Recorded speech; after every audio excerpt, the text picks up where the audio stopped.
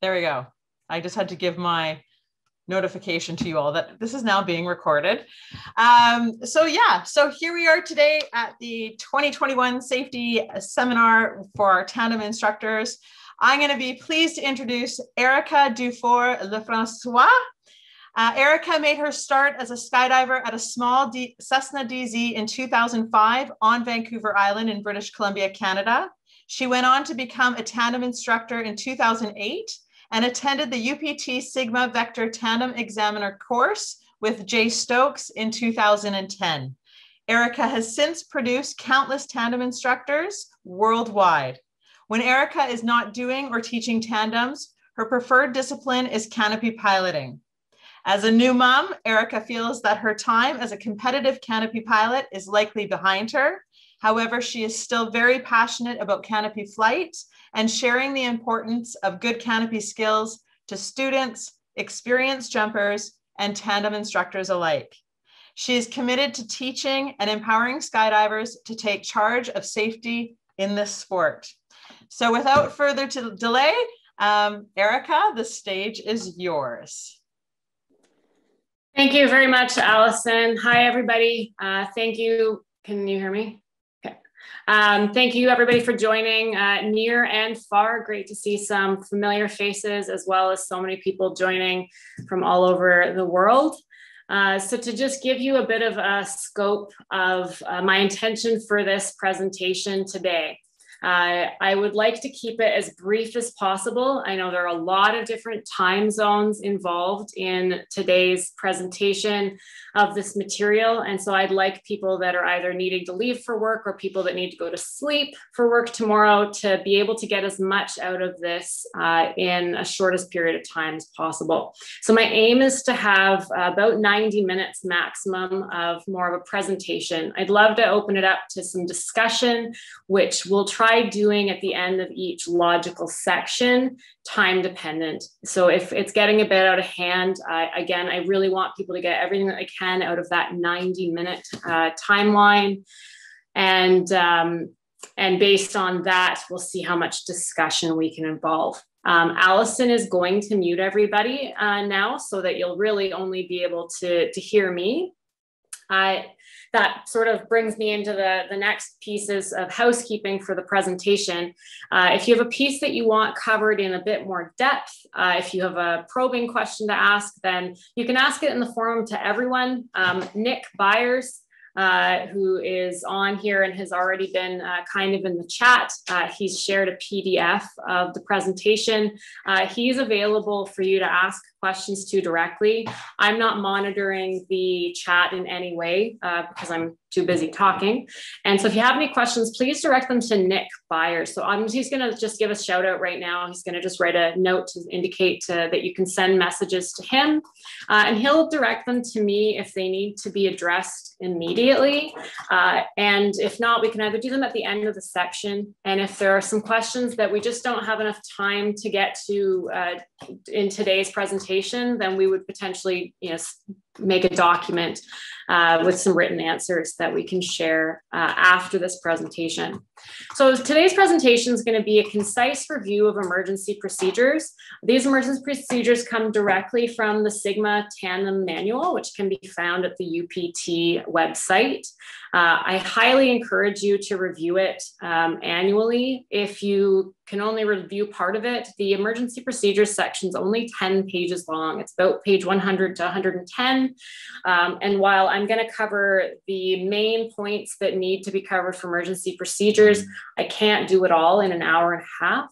The other piece that'll be lacking is whether you actually really knew the answer to the emergency procedure versus um, hearing it from my voice and going, yeah, that, that makes sense.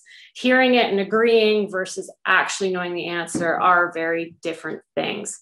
So I would encourage you after we've done this, uh, you can use the, the document that is being shared. It's going to be shared on the Sigma Tandem resource uh, page on Facebook uh, as well, so that you can download that. You can keep it. It's a good resource to be able to cover a, a, majority of the emergency procedures without having to look at them in, in the manual itself um, with the written explanations. I also just want to say that um, while there are sometimes disagreements on how emergencies should be dealt with. Uh, we're not really going to be discussing them in tonight's forum. We're going to talk about the why uh, and potentially the how certain emergency procedures are dealt with, um, but this isn't going to be the forum for discussion around uh, changes to the way that emergency procedures are done. I'm just going to be going over how they are meant to be conducted based on the manufacturer that I'm rated with, which is um, Vector, Vector Sigma uh, with Vector. Um, so thanks again, everybody, for being involved. I'm going to start things off right away um, by moving into the first section I'm going to cover before emergency procedures are just a couple of the advisories uh, that came out. So there are three advisories that are posted on the, the website. So you can see those at uptvector.com. And I would recommend that uh, you have a look uh, at that website on a, on a semi-regular basis just to see if there's any new communications coming out.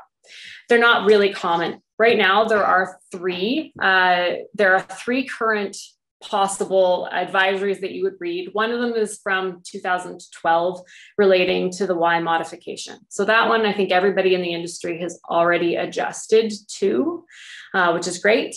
Um, the other two I'm going to talk about right now briefly before we talk about emergency procedures. So the first is a reminder of the important altitudes that we're meant to adhere to as uh, UPT rated Sigma tandem instructors.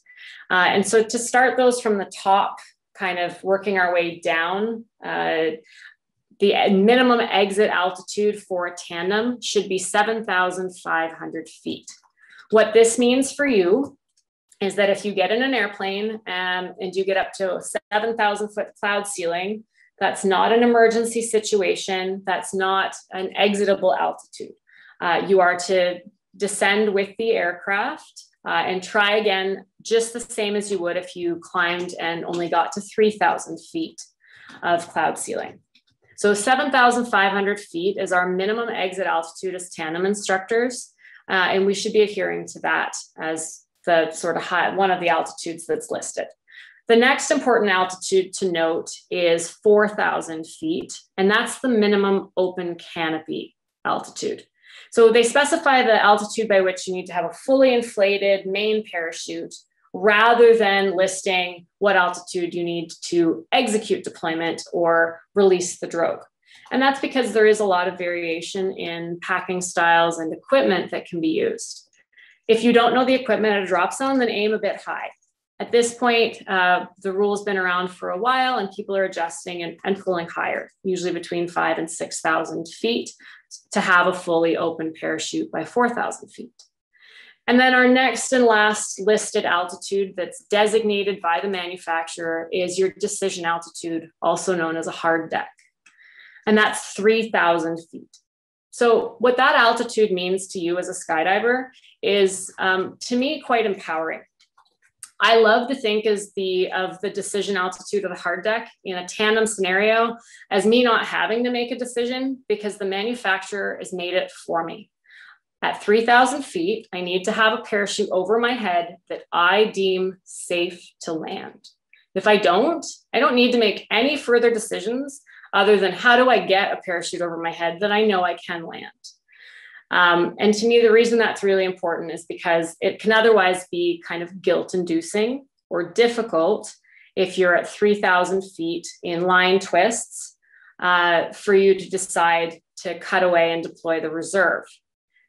But it's still a malfunction no matter what. If you're looking up at 3,000 feet without certainty that that's a good canopy, then luckily you don't need to make much more um, you don't have to use much more of your judgment because it's been dictated to you so to reiterate those altitudes 7500 feet minimum exit altitude 4000 feet minimum fully open main parachute and 3000 feet is your minimum altitude by which you have a fully functioning parachute. You're making that decision at 3,000 feet to execute the deployment of a parachute that will work for you, uh, either keeping the one you have or getting uh, another parachute out.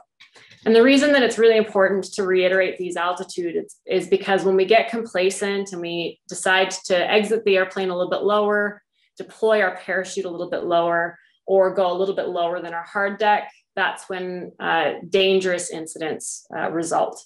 If we follow those outlined altitudes all the time, then we're going to get much closer to a zero incident uh, environment community of tandem skydiving.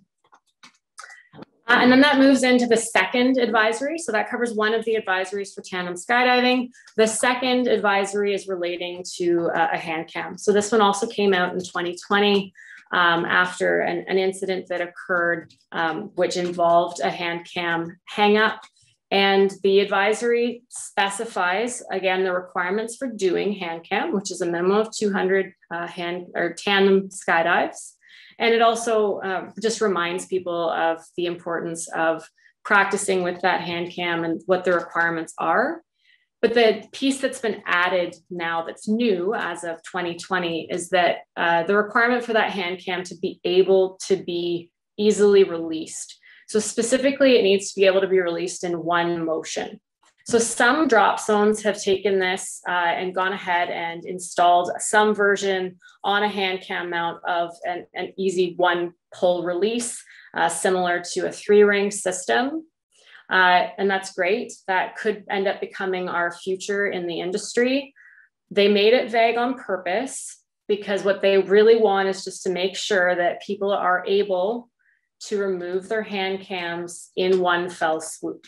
So if you're flying something standard, not that uncommon to have to have your hand closed in order to keep the hand cam well secured. If you are able to open your hand and in one swoop release, release the Velcro um, so that your hand cam is no longer attached to your hand, that is still currently acceptable. So you don't need to adjust your hand cam unless you find that you cannot easily remove it.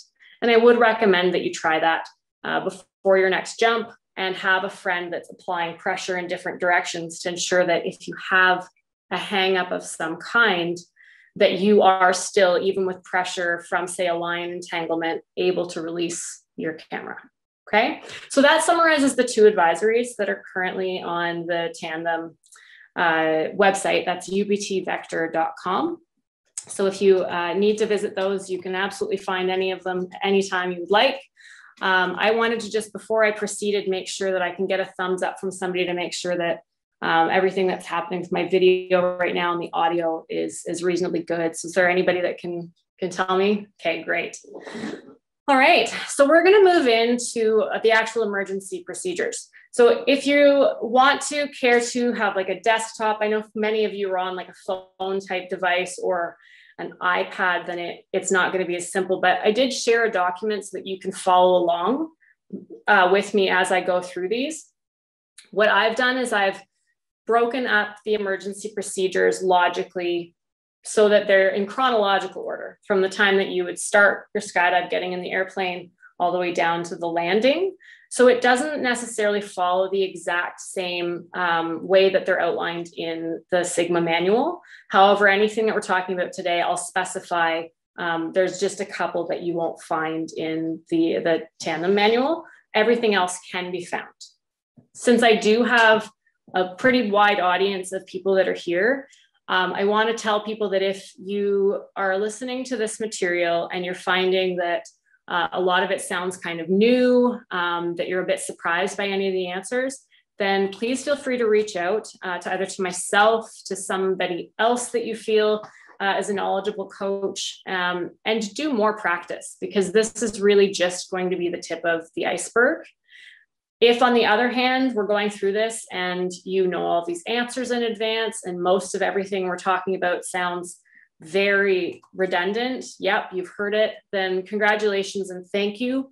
You're one of the tandem instructors that is um, in, ensuring the safety of our sport by keeping up to date on your emergency procedures, which is really important and very close to my heart. So um, either way, the pretty wide audience here. So I'm going to be trying to keep it concise, uh, accurate, and uh, cover as much as I can in about the next uh, in the next hour roughly. All right?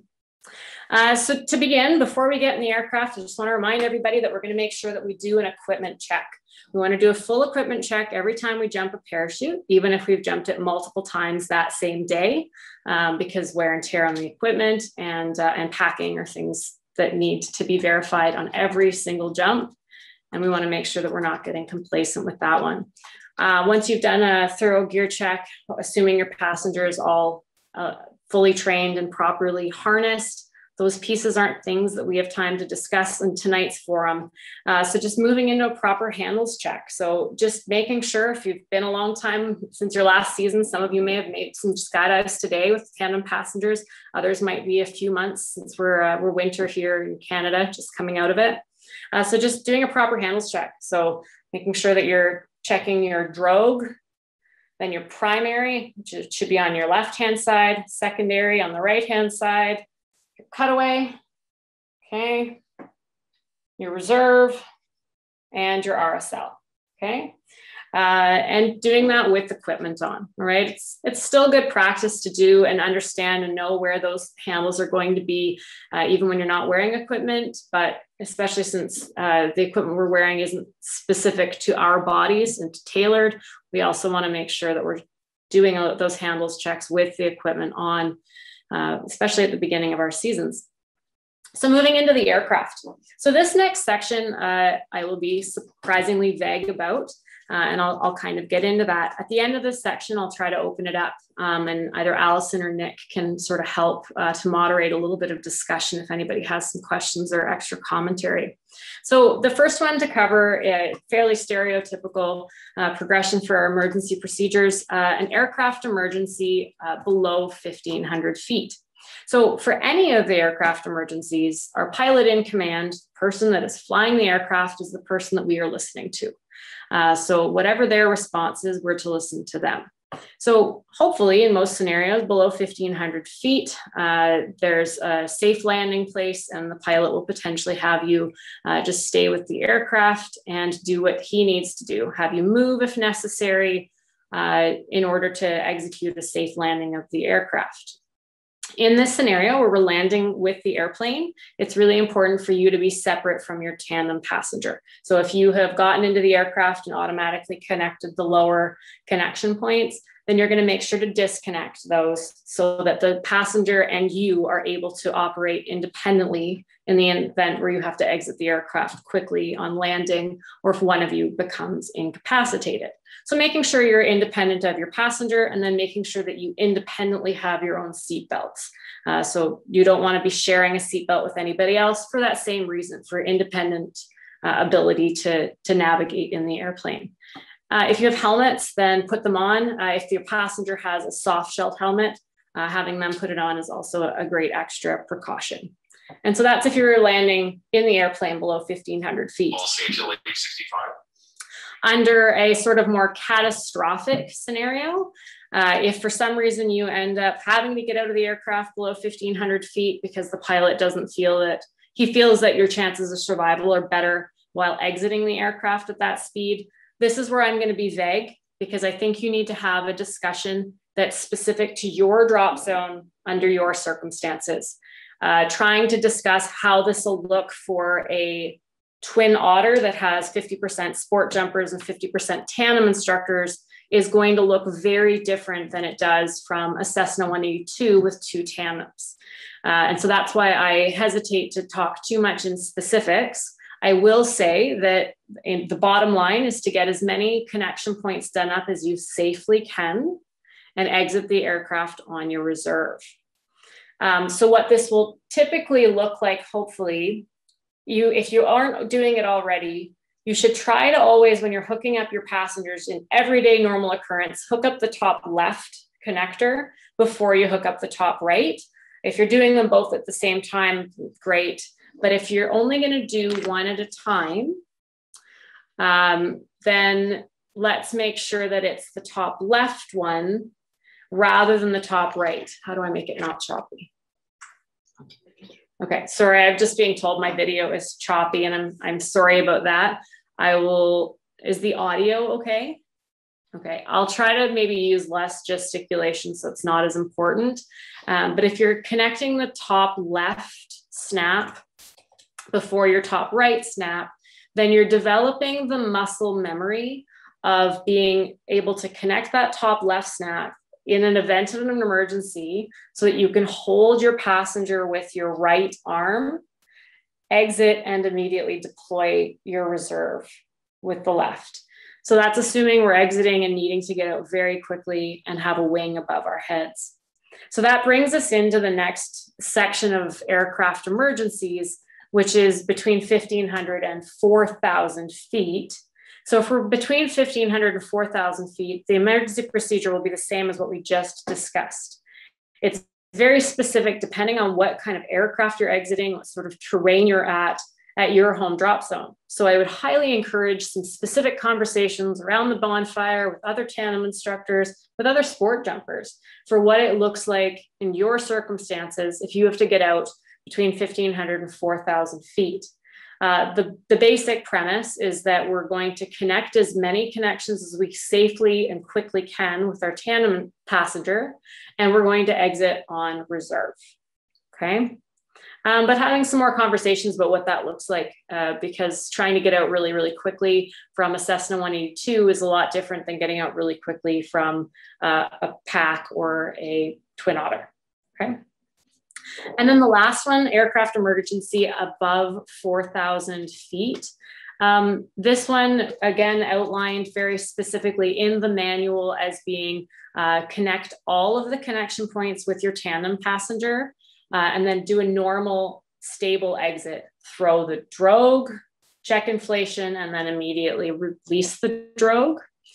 Um, I would caution, however, that 4,000 feet is really, uh, that's the minimum, right? We're supposed to be under a, fully inflated main parachute at that altitude. And so ultimately, if you're getting it at 4,000 feet and you're in terrain like I'm used to flying in, where there are a lot of mountains and otherwise, if you're not certain of what terrain you'll be jumping out over at that altitude, then it to me would be feasible to, to get out on your reserve as well um, in some of that sort of gray area. As you get up higher, then uh, with your comfort level, uh, getting out on the main is the prescribed standard operating procedure um, from the Sigma Tandem manual. And then one of the last ones I've added for discussion here is just a hang up on, on aircraft. Um, so this one we don't tend to see as often reviewed as an emergency procedure. Uh, and that's okay. I think it mostly just warrants some discussion. So this would be one where uh, I would recommend that you have conversations with your chief pilot, the pilot themselves. People that fly uh, jumpers can often, uh, specifically at smaller drop zones, be accumulating time. So they're not necessarily really experienced uh, pilots. That's not always the case. They're, we're very lucky in the industry to have lots of drop zones with very, very experienced pilots. Um, but it would be really great for me. I would want to know if uh, the pilot has some training around what to do if uh, somebody, it could be a tandem or otherwise, uh, is hung up on either the strut or if maybe a pilot chute or otherwise is hung up on the tail of the aircraft. Um, so knowing that there might be a hook knife available in a glove box is different in a Cessna aircraft than it is in a Twin Otter type aircraft. Okay. Um, so I encourage you to have those conversations. Uh, the biggest piece relating to hangups with an aircraft are prevention. So just a healthy reminder that we want to make sure that we have good briefings with our passengers uh, so that they understand the approach to the door for exit, how to get ready for their exit from the airplane, what exactly you're doing. You should be comfortable and well prepared before you launch. Um, doing final checks of your equipment before you leave the aircraft, especially if you've had to scoot along the floor, making sure that that drogue hasn't come out so that it's going to have any chance of hanging up and uh, and then also making sure you've got a strong launch from the airplane with seatbelts disconnected uh, before you're exiting the airplane. Okay. Um, so at this point, I, I'm going to go ahead and see if there's anybody that has any questions or commentary that they want to add in, and that will give me a chance to have a little drink of water as well. So if Allison wants to take over for a moment and see if anybody's got any questions. Absolutely. And so, for those of you who have not in this wonderful day and age had a chance to be on Zoom, you do have a reactions uh, button. Most of you should at the bottom where you have an uh, you can raise your hand. It's a little icon that shows a raise hand.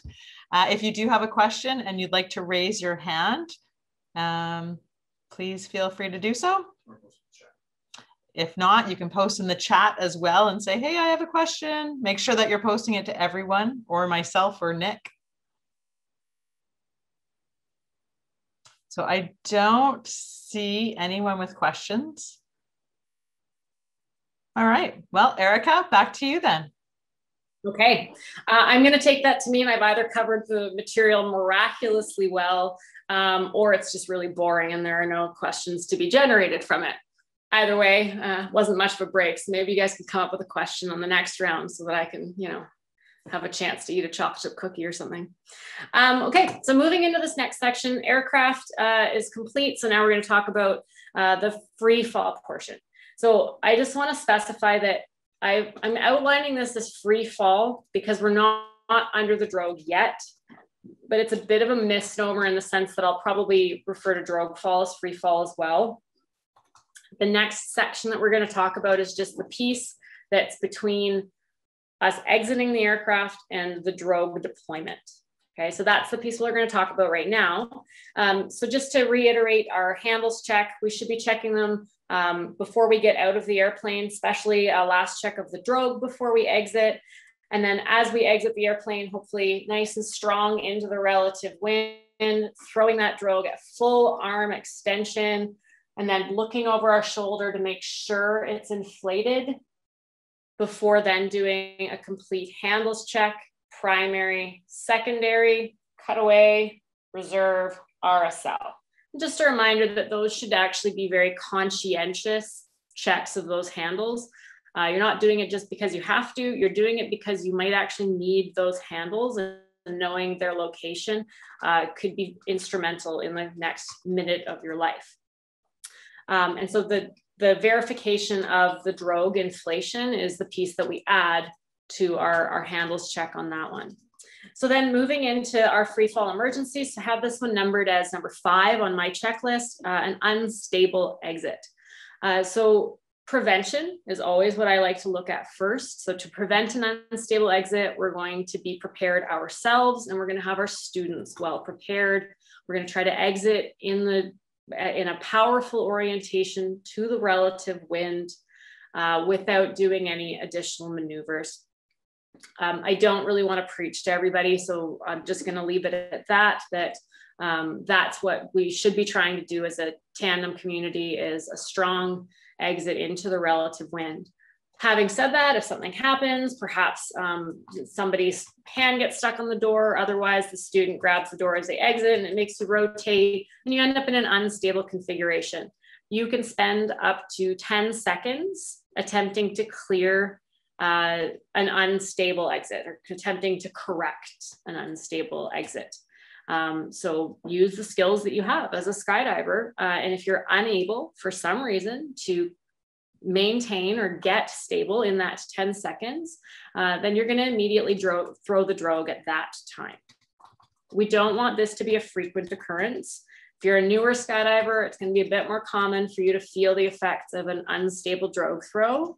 Um, but hopefully they should be few and far between and really, really uncommon as you gain some experience as a tandem instructor. If you're finding that they're occurring, um, at all, really, as you've gained experience, then I would recommend that you reach out to somebody that you feel comfortable with um, for some pointers on what you could be doing differently to have stable drogue throws. Okay, but the bottom line is that if you have an unstable exit, you can spend up to 10 seconds trying to improve your circumstances. So getting stable, if you are not able to get stable in that 10 second period of time, then you're gonna go ahead and throw the drogue and you're going to make sure it doesn't happen on a regular basis. Okay. Um, so then I'm going to move right into the side spin. Uh, and this one again isn't often isn't touched on really, really frequently as an emergency procedure. I would call it more of a phenomenon than an emergency because they're so rare. So I'm going to say that as a tandem instructor and an examiner, this is to me the most difficult emergency or phenomenon to teach and that's because I don't have any experience with it. And I think that's the case for most of the people I've interacted with. The information that I have around it is probably 10th hand. You know, I've heard it from somebody who's heard it from somebody. It's very difficult to teach things that you don't actually see yourself or have close contact with.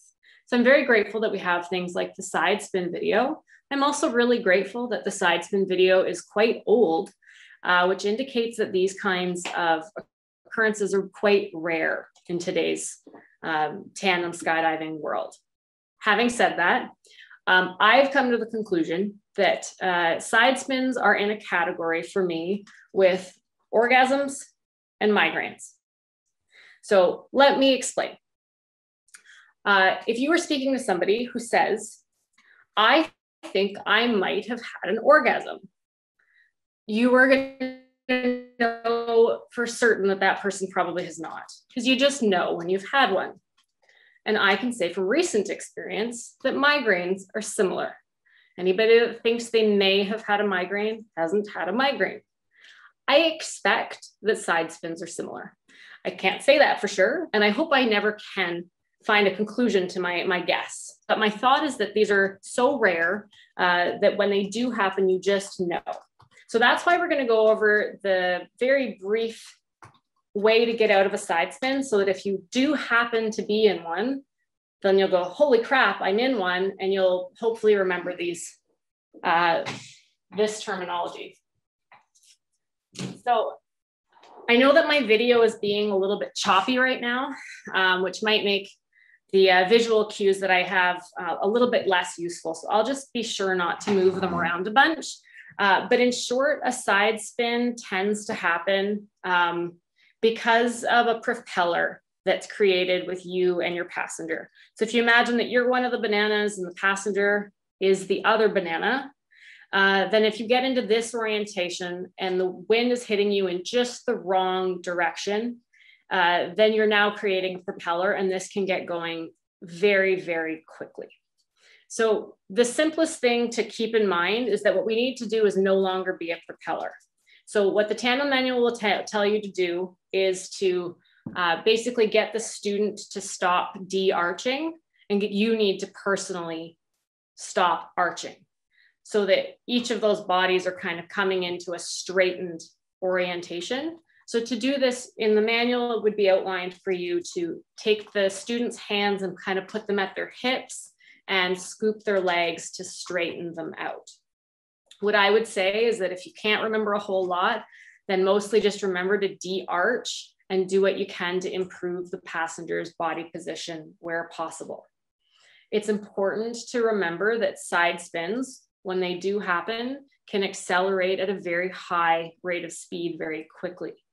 And so if you find that you're not able to slow the acceleration uh, within just a couple of seconds, then you're gonna wanna make a decision between either throwing the drogue or deploying the reserve, depending on which rotation you're in, what side is, is up.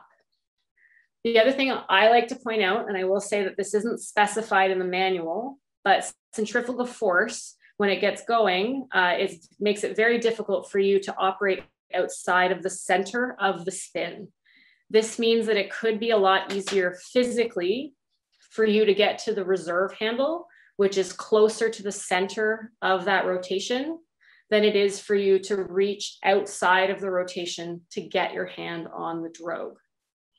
Um, so to reiterate, side spins, luckily very rare. Uh, we can avoid them by having good presentation to the relative wind and by not hesitating uh, when we have an opportunity to throw the drogue in a stable configuration. If you do feel that you um, are having a side spin phenomenon, then you need to relax and try not to arch as hard as you can because that might increase the propeller.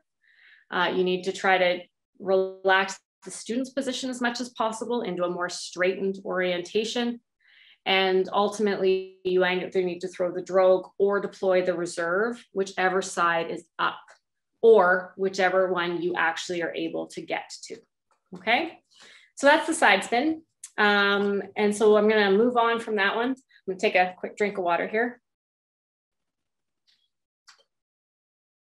The question was, uh, is a factor of the side spin? Um, so there's just one quick question that I'm being posed was just um, uh, regarding whether loose uh, side connectors could be um, sort of a factor in the side spin.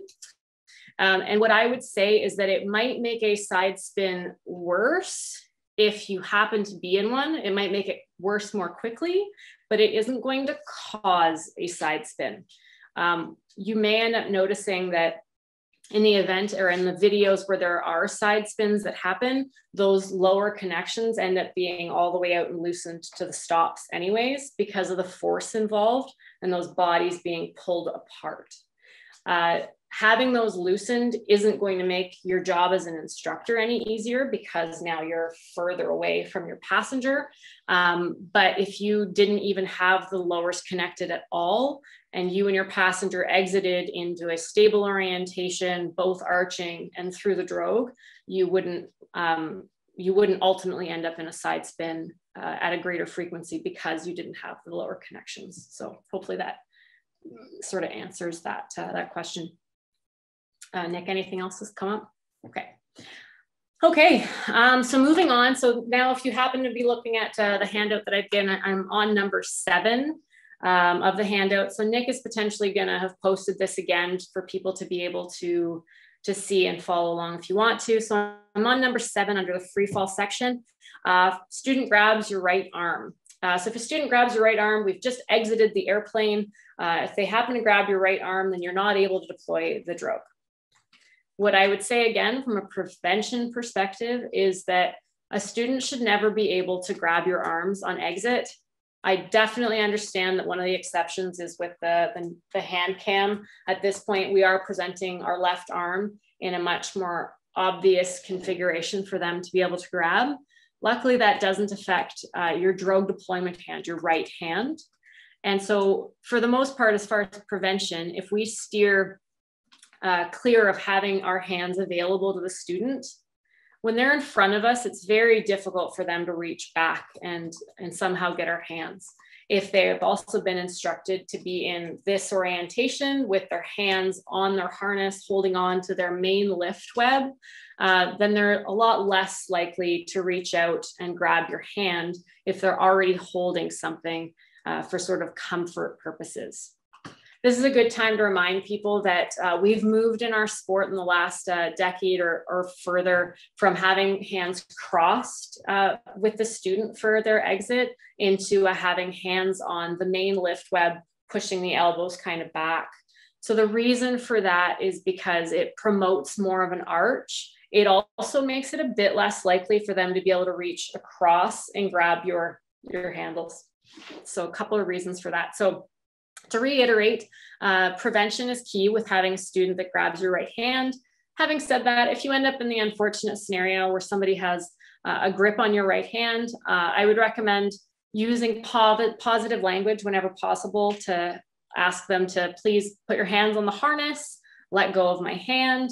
We don't normally need to resort to kind of abusive behavior with, with passengers. They're not being malicious, they're just scared. So tell them what you need them to do um, before getting aggressive. And then you do have 10 seconds to, you know, deal with this. So that's a pretty long time in the skydive world.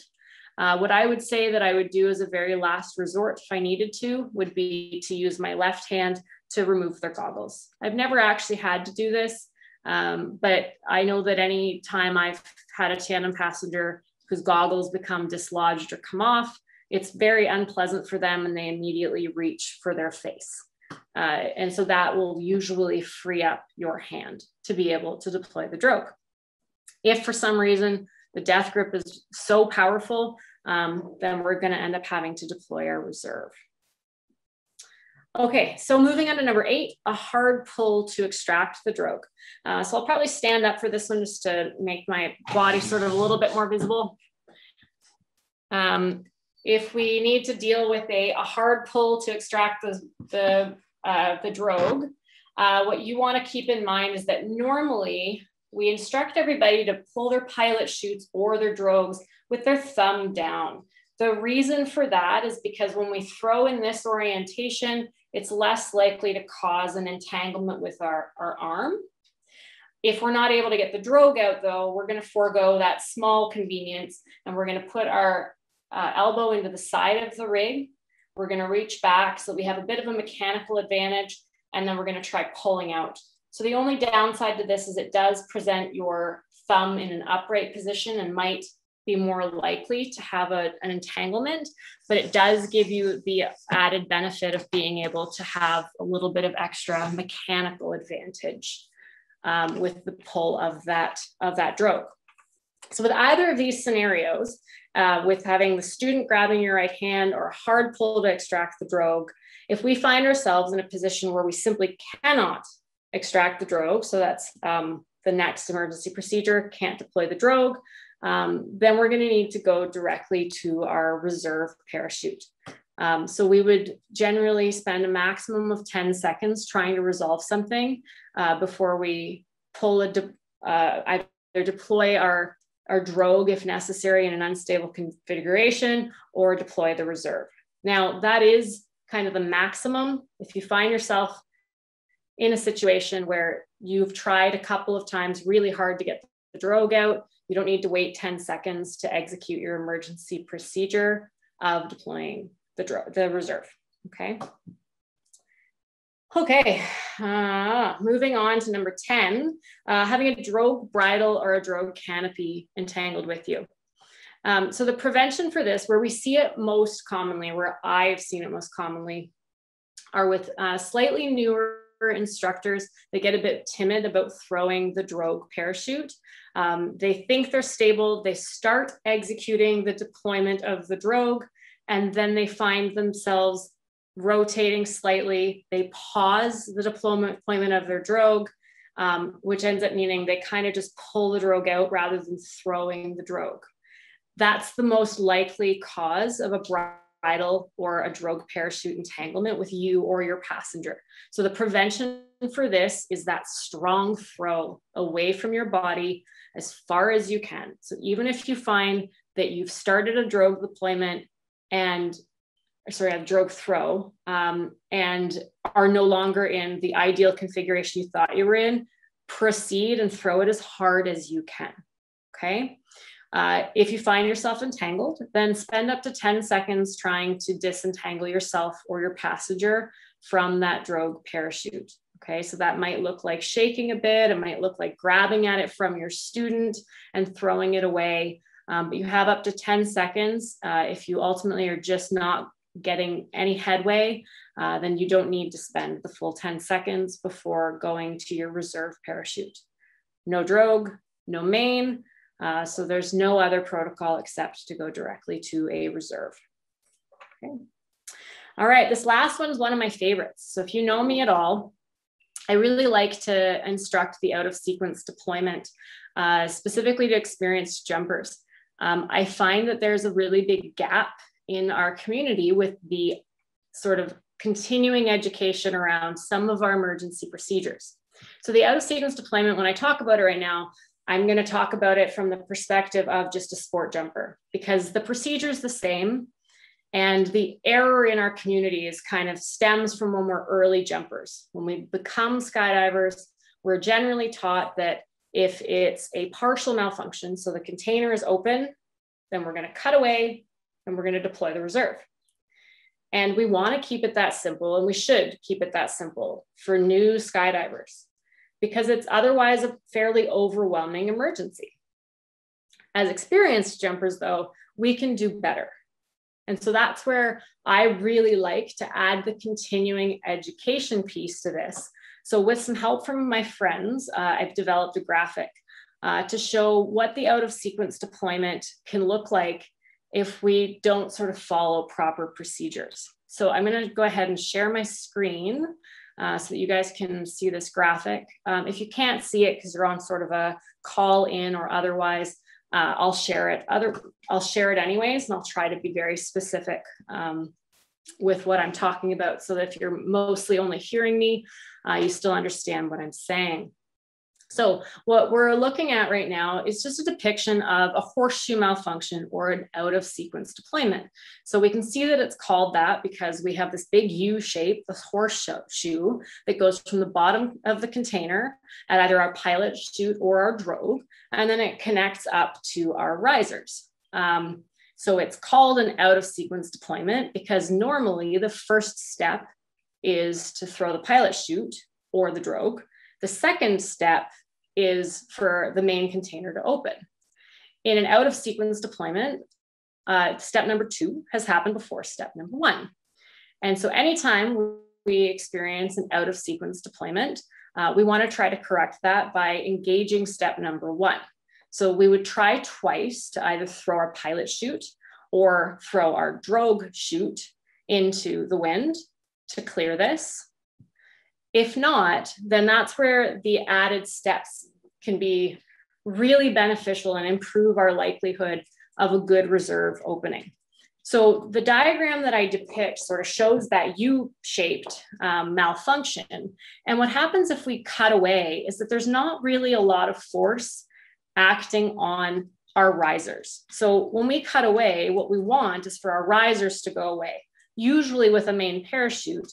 But in this scenario, most of the time, there's not enough drag to pull away the risers. Most of the tension is actually at the bottom end closer to where your pilot chute bridle is. Because the lines allow it to kind of be very fluid near your risers. So if you cut away and then just deploy your reserve, your risers will probably still stay seated. Your riser covers will probably still just be closed. That's why it's important for us to be able to clear that, clear the risers so that we move them. If you're looking at the diagram, then you kind of see that by disconnecting the RSL, cutting away and clearing our risers, we can now make space for our reserve. So to talk about this all in one fell swoop, if we end up sequence. So we're gonna try twice to throw the pilot chute if we're a sport jumper, or throw the drogue if we're a tandem instructor. In either scenario, your handle can sometimes have relocated because of the distortion in the main container from the bag being out of it. So if you're not able to locate the handle, you've tried twice, then you're going to move on to disconnecting the RSL if you have one, uh, cutting away, clearing the risers. So this means physically putting your hands on the risers, pulling away the risers, and basically throwing them before de deploying your reserve. So uh, like I said, I love teaching this malfunction because I feel that most people don't know it intuitively. And I want you to know it just as well as you know your other emergency procedures. I also love that this is the end of this section. So it's a really great time to open up the floor to some questions. I'm gonna go ahead and leave this uh, up while we have some, some question answer if there are any, um, specifically around this graphic or, um, or anything else that we've talked about so far.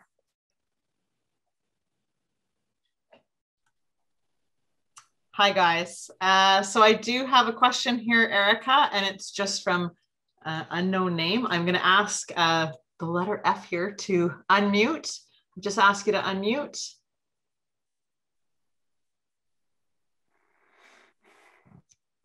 Go ahead with Hi. your question. Hi, hello. Is, is, is that for me? It is. Yes, it is. Uh, okay, thank you very much.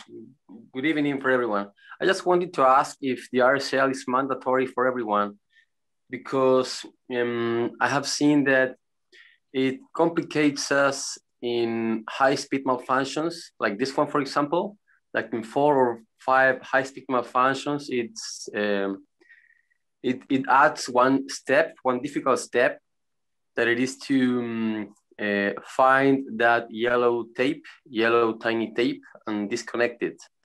Uh, uh, previously to cut away and clear the risers and open our, our reserve. So I was wondering, first of all, if it's mandatory to use it or if uh, at the discretion of the tandem master, and if we could, if we are able, if we are uh, approved to change it for the crystal ball that is easier to, to find. Thank you. Um, okay, great. So just uh, to summarize your question, and please feel free to send a message, like clarification back to, to Allison or, or otherwise to, to Nick if, um, if I don't get the full breadth of it. But basically you're asking if the RSL is mandatory. Um, and then you referred to the crystal ball, which they used to use um, on the sort of the vector systems uh, some some time ago. Uh, so the first part of the question is, are, is the RSL mandatory? And, and, yes, it is. If I made it in any way sound like it, it wasn't, it's because I'm, I'm also kind of speaking to experienced jumpers. Uh, in the tandem world, yes, absolutely 100%. The RSL is necessary. There is no option to um, sort of remove it. Uh, and it's one of the reasons why it's really important to do our handles checks uh, regularly, including one uh, when we're in drogue fall to double check that we can find the location of that yellow tab. Um, now, my, my second part of this question, we might have to, to reach out to, to Tom or otherwise. Uh, the crystal balls uh, were discontinued, uh, namely because of a couple of reasons, but they were they were causing some injuries, like some because they were getting trapped under the risers, um, and they would end up hurting quite a bit with your collarbone. I can speak to that. Um, but they also, because of the, the sort of the shape of them, they could actually sort of get lodged in the RSL itself, or not in the RSL, sorry, the, the three ring itself. So whether you're still able to get that crystal ball or not, I, I think the answer is no. Um, but I, I am quite happy to make sure to, to come back to you with a more specific answer on that. If there's any anybody in the chat that like just knows the answer to this, then please uh, feel free. Um, I know what I know, and I also know what I don't know. Um, so hopefully that kind of answers your question. Uh, the piece that I will say relating to um, sort of the downsides with having an RSL uh, or like its difficulty with the disconnection of it. Um, when the UPT outlines its standard operating procedures, they're very fact based they're statistics oriented, they're after gathering a lot of data. And so what we tend to see ourselves are individual experiences, right? We each have our own perceptions that are based on these experiences. Uh, but UPT isn't only looking at one or two people's experiences, they're looking at global experiences, a summary of a lot of data when they come up with these standard operating procedures because ultimately they just want the sport to be as safe as possible with the, the, least amount of liability as possible. And so if they say that the RSL is mandatory and it needs to be used at all times, that's because it is an improved safety measure, not just to a couple of people, but but overall globally the statistics represent that it's a safe measure to have. So hopefully that kind of helps a little bit. Allison, do we have anybody else? Any other questions? I, I don't see other, any other hands up. Uh, I there was at one point, but then it went down. So I'm assuming that there was. This question was specifically about the out of sequence deployment. Uh, okay, Gord has a question. I got to find him and ask him to unmute. Sorry. Um, Gord, where are you? This could be fun. I don't have I don't have a full screen, so bear with me. We've got uh, quite a few of you on here. Sorry, Erika. So if I understood that last question, I don't think he was asking about whether or not RSLs are mandatory or not. I think he was asking about during your out of sequence deployment, your horseshoe malfunction uh, picture that's up on the screen right now is disconnecting the RSL a mandatory part of that emergency procedure. Thank you.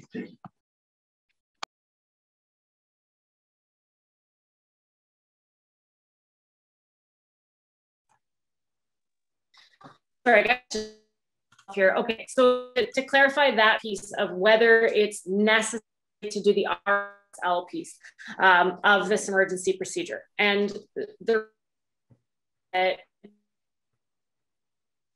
your own and your past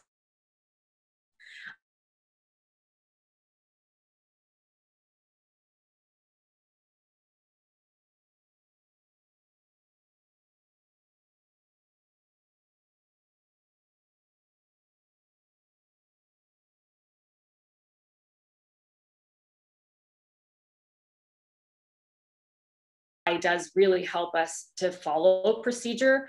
Um, in a, almost 100% of the scenarios where only a cutaway happened, the reserve pilot chute, when it came out, would always bounce off of the main risers first, have this kind of trajectory, and then inflate.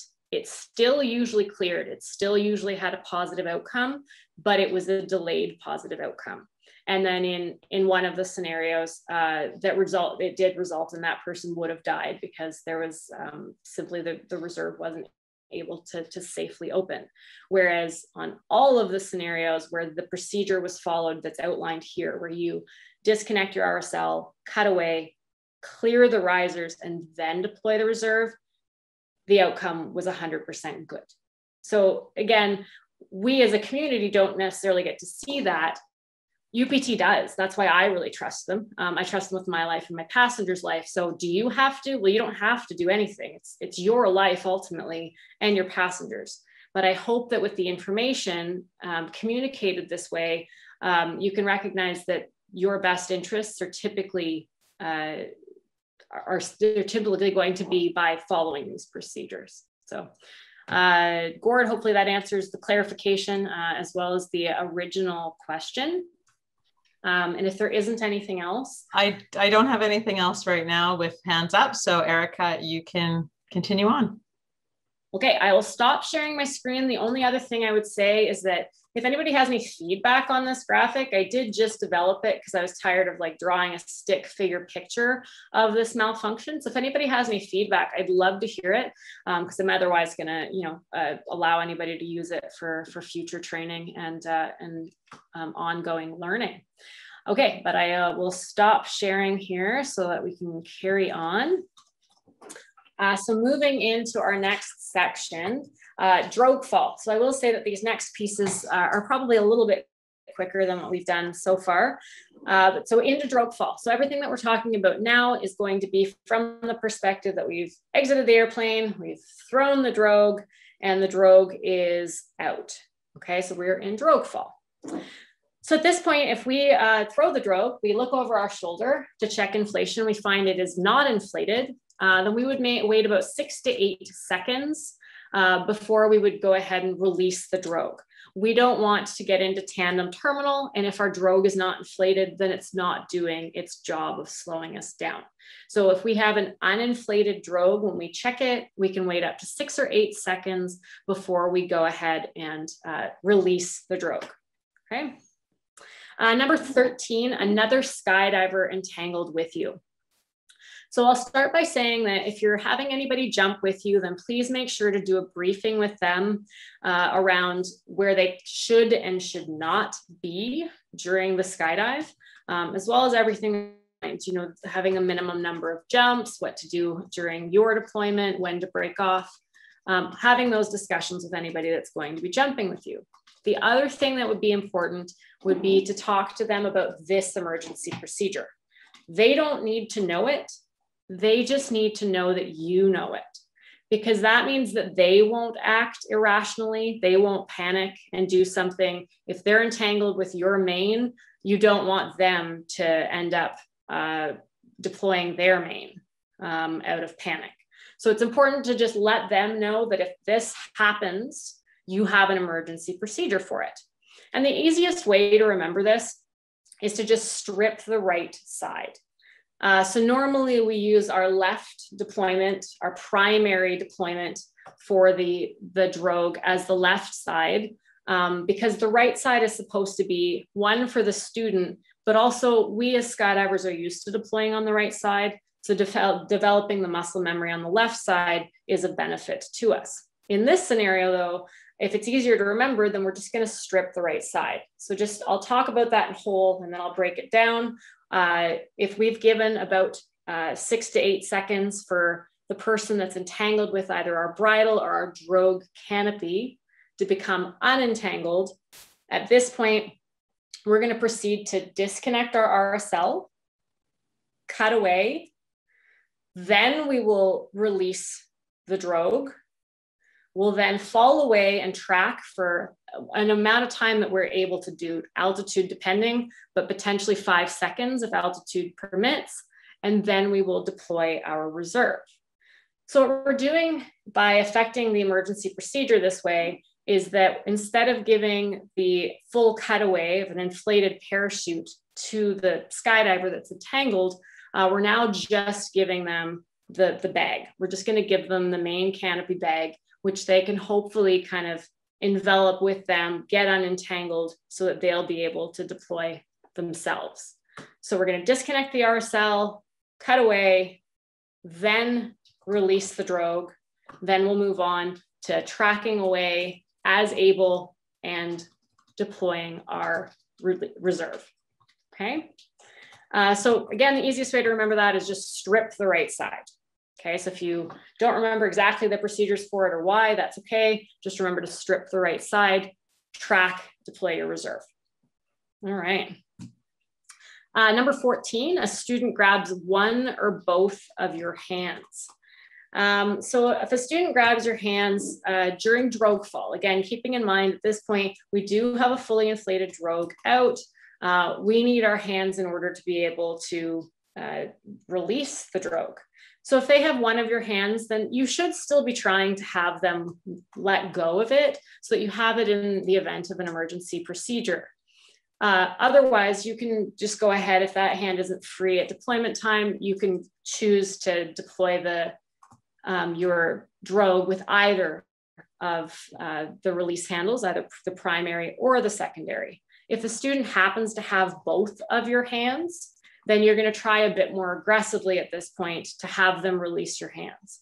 Proper training would be a, a, great way to avoid this scenario. Just remembering to speak in positive, tell your students that you need your hands. If they get scared, then it's always safe for them to put their hands on their harness, on their main lift web. Okay. But if we find ourselves in a scenario where a student has grabbed both of our hands, we're not able to end up releasing uh, and either of the main, the main, a primary or our secondary drogue releases, um, then we're going to, um, at this point, we're going to end up having uh, to use emergency, basically, you need to have a hand because otherwise you're now re relying quite heavily on um, a backup system, i.e. a Cypres AAD of some kind to, to deploy for you. So you need to get at least a hand free uh, if a student has it. In my experience, it's pretty rare for, for this to happen. So hopefully that's the case. I'd love to hear from you if you've uh, had a different experience.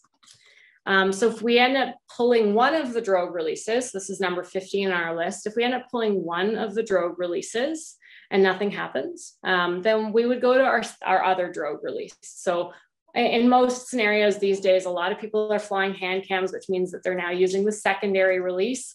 Uh, that means if your secondary release on the right hand side doesn't work, you're going to go to the left hand side and then you're going to try them both at the same time. If it means sacrificing your hand cam video, then you're going to do that um, in order to make sure that you try everything that you can to have the drogue actually release. In the event that that doesn't happen, then that ends up uh, resulting in what we call an inflated drogue and tow. An inflated drogue and tow is synonymous with basically a pilot chute and tow. So we now have a, a drogue or a pilot chute that's out, but a main container that's closed. So we would call this a total malfunction, uh, which would mean we wouldn't bother with the cutaway. We would just go straight to a reserve deployment. So if you have a pilot chute or a drogue in tow, the is closed, we're just gonna go straight to a reserve deployment, okay? Now in the scenario where we have a collapsed drogue in tow, so the in tow part basically means it's not actually doing its function of pulling out the main parachute, but the collapsed piece would indicate that the container has opened. That's the only way that the that the drogue could possibly be uh, collapsed. These are incredibly rare, but having said that, we now have a partial malfunction because we've now opened our container. So the container is open, which means that we could be more likely to have a main reserve entanglement. So in this scenario, we're gonna follow a very similar process and procedure as we did for our out of sequence deployment. We're going to disconnect the RSL, we're gonna cut away, we're going to clear our risers, and then we will deploy the reserve.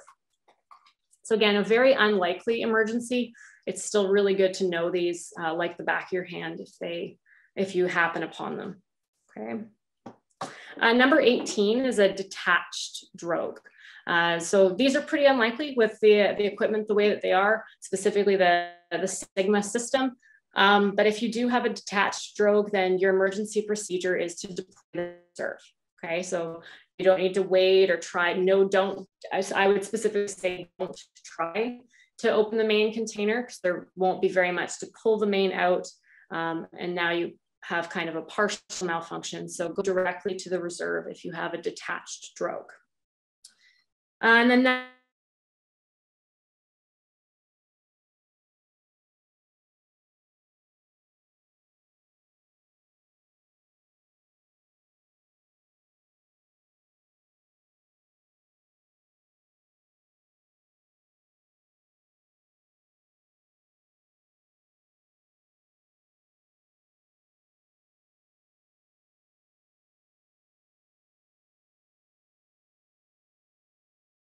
actually your response should be quite the contrary. If you've had anything similar to a hard opening, then you want to make sure to test the limits of that parachute during its controllability check so that if you end up needing to turn really quickly for avoidance or otherwise, you know that that parachute is able to withstand everything that you need it to do, okay? All right, um, so that's the end of the drogue fall section. Um, I will say that uh, the last couple sections that we have are a lot easier because most of them uh, are similar for experienced jumpers. So if we have anybody that has any questions, um, I'm not too worried about uh, our, our, timeline at this point because we've um, we're doing pretty well. So if you've got any questions, please let uh, either Nick or Allison know, um, and we can address those before we move on to the next section. I am back here. So just a reminder, anyone that has a question, if you aren't typing it in the chat, um, there is a little icon and a reaction where it says raise hand, and that alerts me to know you do have a question. And sorry, I'm gonna start my video here. Um, so I do know that Mayo, you have a question. I'm just gonna find you. Mayo, you had a question in the chat, but I'll let you direct that to Erika as well, because it was a good question.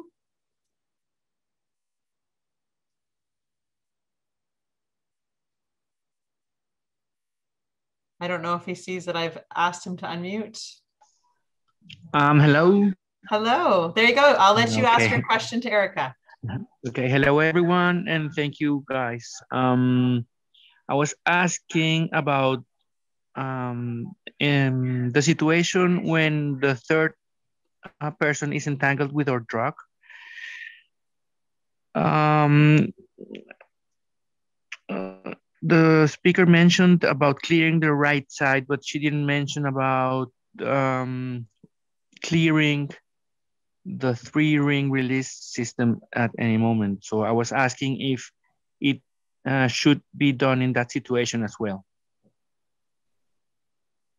Um, so great clarification, Mayo, and thanks thanks for pointing it out. So um, I think one of the areas where I actually could use some improvement is um, that almost any time that we enact a cutaway, we should actually be doing a verification of the clearing of our risers. So it it actually should become synonymous. And I'm I, I'll admit that I'm I am definitely, uh, that's one of the areas where I need some work. So um, if you enact a cutaway, then ultimately, yes, you should always make sure that your risers are clear before you move on to anything else. Now, with this particular emergency, um, one of the reasons that we normally need to clear our risers is if there hasn't been any sort of force acting on them to pull them away. Now, if you have a skydiver that's currently in one way basically kind of connected to this, then it's probably going to result, um, ultimately going to result in those risers being cleared um, from you. And then also you're, before you deploy the reserve, you're also planning on, on tracking or getting away from uh, that person. So to simply answer your question, yes, you, you should also, at any time you're doing a cutaway, you should be making sure that there's a brief period where you're ensuring the release of those risers before you move on to reserve deployment. Um, in this scenario, I, I would say that I, I guess I haven't specified it because I think that probably the skydiver will have pulled them away for you. Um, but I guess I, I don't know for certain. So hopefully that's answered your question. Great.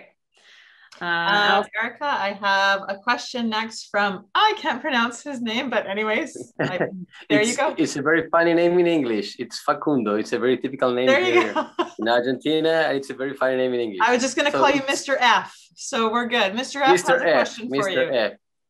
Sounds awesome, Mr. F. So it's it's it's me again. One question. There was an accident some years ago with a new tandem master in which he had an uninflated drogue in tow and he failed to complete the procedures. I mean, he didn't release the drogue, but after that, he deployed his reserve and the reserve got entangled with the pilot chute.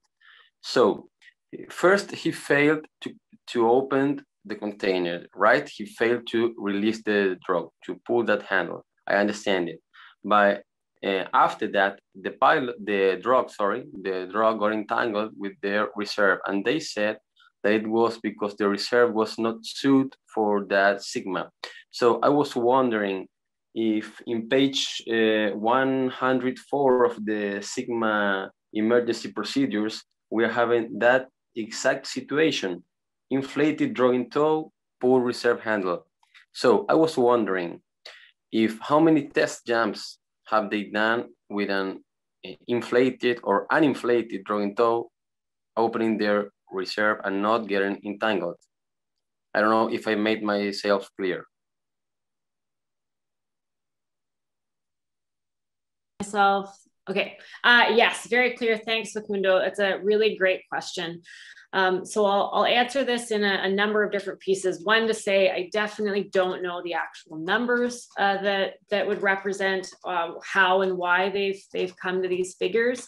Um, so uh, I can always try to see if there's any answers around that. I, I doubt very highly that we'll get those specific answers from UPT or, or Tom Noonan. What I will say that I do know um, is that over the decades, they've definitely seen this go wrong. They've seen a lot of scenarios where they've had to adjust the length of um, the pilot, or not the pilot chute, but in our scenario of the drogue parachute, so that it didn't specifically hinder the slider of the reserve as it came down. And so, unfortunately, we've had to learn from other people's mistakes. But a lot of R&D has surrounded making sure that the equipment that's used, specifically in Sigma, uh, prevents those kinds of occurrences. And so when they say that the reserve wasn't sort of approved for this system, that's one of the reasons why. It's because if you get a mismatch in the length of the drogue with the reserve that's coming out and where the slider would typically inflate and kind of come down to slow it, the opening of the reserve, then that's when you're more likely to have uh, a double malfunction or you know a scenario where you have the drogue hindering the opening of the reserve parachute. Um, so I can't speak to numbers, uh, but I my expectation is that it's more, it's still more frequent for us to see hangups when we enact a cutaway versus if we do not enact a cutaway. Uh, but you've also just touched on kind of the importance of why we can all agree and understand that when the manufacturer says you have to fly my gear, there's a financial aspect of that. Um, I don't even think Tom Noonan or Bill Booth would argue uh, with that logic that, of course, they've developed this equipment and they want it to be used in their container system. But the piece that you also can't argue is that the research and development that they're doing can only be guaranteed for the pieces that they sell. And so anytime you're going to add in um, a, a, component that isn't theirs, then they then they can no longer give you that information. They can't give you that security anymore that the emergency procedures that they're telling you to use um, are going to, to work in that scenario. So hopefully that gives you kind of part of the answer. Um, I'll reach out to, to Tom and see if I can get a better uh, response, uh, Facundo, if, if there does happen to be more information than I currently have um, in my in my current uh, wheelhouse. Excellent. And just a reminder, if we have answered your question, you can also lower your hand, would be great. Uh, I have a question from John Kieran. Mute. Hey, um, I just wanted to um, throw in a quick clarification with the question that Mayo had to Erika when he kind of referenced what she said as stripping the right side, which I think he might have heard as clearing the right side because he asked if we needed to clear the left. And I just wanted to clarify that you were talking about stripping the right side and that those were the handles we were using RSL cutaway and main as a way to just remember the sequence of the handles we were stripping or pulling as opposed to then clearing the risers that you do after every time you cut away. So that's, I just wanted to throw that out there because I thought I understood what he was asking. Yeah, and, and thanks a lot. I, I appreciate that because obviously I probably didn't catch that I used the wrong word for that. And, uh, and sorry, May, if that meant that uh, I didn't answer your, your question um, fully and accurately. So um, that's great. Is there anybody else with any questions? I do not see anyone. So I know that uh, we've had some questions on the side, but they look like they're being answered. So unless uh, Nick has anything to add for questions from what he's seeing on chat, I think you're good for the uh, next section. All right, fantastic. So we're moving into what I would say uh, the majority of these next sections are kind of just a bit of housekeeping. For the most part, what I really like about teaching the canopy portion of this is that instead of teaching uh, tandem instructors that have only been doing this since they had, you know, at least 500 skydives, the majority of the canopy relating canopy related malfunctions are ones that you've got experience with during your emergency procedures review since you were a, a baby skydiver. Um, so some of these I'm going to go over fairly quickly, and that's because I, I do want to be able to at least wrap up um, the bones of our presentation in the next uh, 15 or 20 minutes here, uh, and then allow for additional discussion, more questions and that sort of thing, but with people able to, to leave if they need to. Okay, uh, so under the canopy, uh, a bag lock. So a bag lock is a high speed malfunction. Again, we've been talking about this one since we had zero skydives in your first jump class. You would have learned about this. Um, you can try to clear it. Uh, you know, the manual will tell you that you can uh, sort of grab the risers and try to shake to, to deploy that, um, to get the main parachute to come out of the bag. Um, but having said that, you're under a, you know, a malfunction that's not going to be able to be cleared. You're going to cut away and deploy your reserve. Uh, number 21, uh, a streaming main uh, that isn't inflating. Similarly, we know about this one as experienced jumpers. Uh, if we're not able to clear it, if there's nothing that we can do, then we're going to cut away and deploy our reserve. Uh, line twists. So my only pet peeve and the thing that I like to make sure to impose on the skydiving community as a whole is that I feel that we tend to be a bit cavalier around line twists. We tend to treat them as being a, an inconvenience rather than a malfunction. And that can be the case very often. I, I would say we get complacent with just being really good at getting out of line twists and knowing that we can. Having said that, if you're still in line twists at 3000 feet, that is still a malfunction. That is still a parachute that you cannot land. So it's the only piece that I like to remind you. If you're in line twists, uh, then I also recommend that you do an audio uh, command of what altitude you're at at a given time so that if you're under 4,000 feet and you're in line twists, you're actually verbalizing that. Your passenger doesn't care. We all know if you've done a few tandems, you've figured out very quickly that tandem passengers generally don't remember a whole lot of their skydive and they certainly don't care what you're saying. Um, and so if you if you just yell out your altitude, I am at 4,000 feet, kick, kick, kick, do whatever you need to do, distort yourself, get your passenger to help. I'm at 3,500 feet and just verbalize it. Um, it will really help to make sure that you continue to do it, but also that you don't do that kind of age old thing where you like check the time, but don't actually see what time it is, i.e. checking the altitude, but not really actually knowing what altitude you are at at that moment. 3,000 feet is our hard deck, it's our decision altitude. Keeping in mind that if you're flying over any terrain that might not be 3,000 feet above ground level, you need to keep that in mind as well. So if you're right next to a mountain range and your altimeter says that you're at 4,000 feet, um, you need to keep in mind that you might already be at 3,000 feet AGL, okay? Uh, and then moving on to uh, the drogue, or sorry, the um, tension knots. Uh, so again, tension knots are something that you might be able to spend a bit of time uh, correcting a turn. If it's, you know, a tension knot on the left-hand side and you're turning to the left, you could unstow the right-hand side and the left-hand side, but be correcting in order to give yourself a little bit of time. Uh, this malfunction is at least a slower speed malfunction. Uh, you can try to, to pump toggles and clear that tension knot If you're not able to, then you're going to cut away and deploy the reserve by your decision altitude. By now, I hope that I've drilled into your head as being 3,000 feet. Uh, a line over, uh, very similarly, you can try the manual outline that you take both toggles and do two very uh, aggressive flares of the parachute to try to clear a line over. Um, if you're not able to clear the line over, then you're going to cut away and deploy the reserve. Um, number 25, uh, drogue entangled with the main canopy. So this one's also still the same. If you're a sport jumper that has a pilot chute that's tangled with your main canopy, you're gonna do a canopy control check. So again, anytime you have any questions around whether that parachute might or might not work well for you, do a vigorous check of it. So making sure that you're doing really aggressive left and right turns uh, and different stages of flare as well to make sure that it can work for you under all circumstances.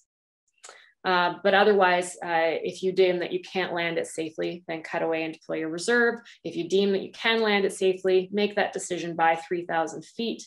Um, and you can still land it if it has all the maneuverability of a good parachute for landing.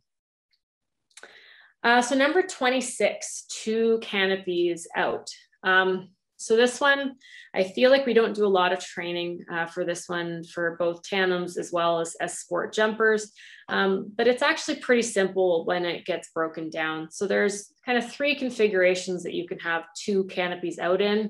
Uh, you can either have them kind of front and back, so that would be considered uh, what we call a biplane. You can have them side by side, um, or they can end up being in a, a down plane configuration.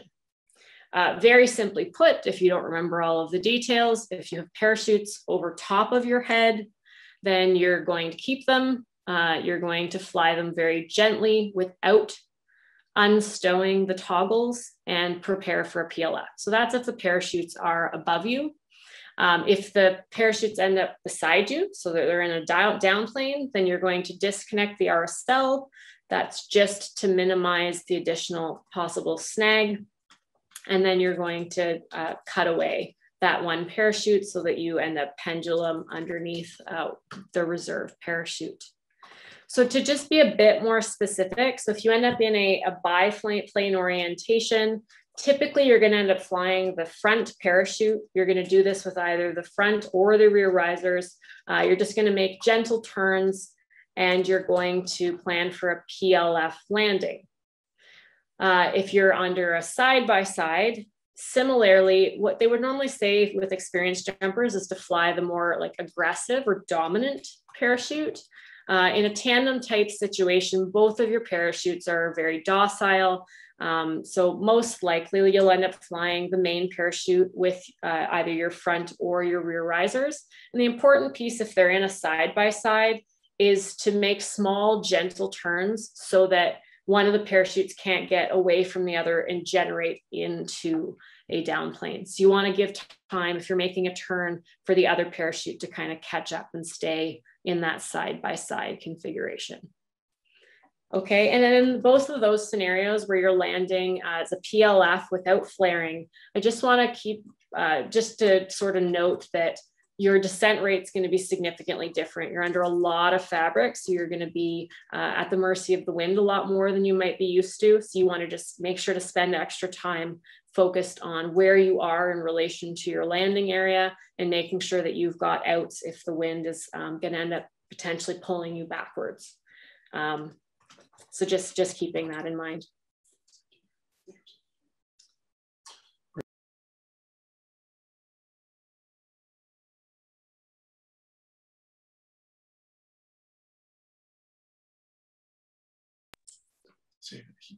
Okay.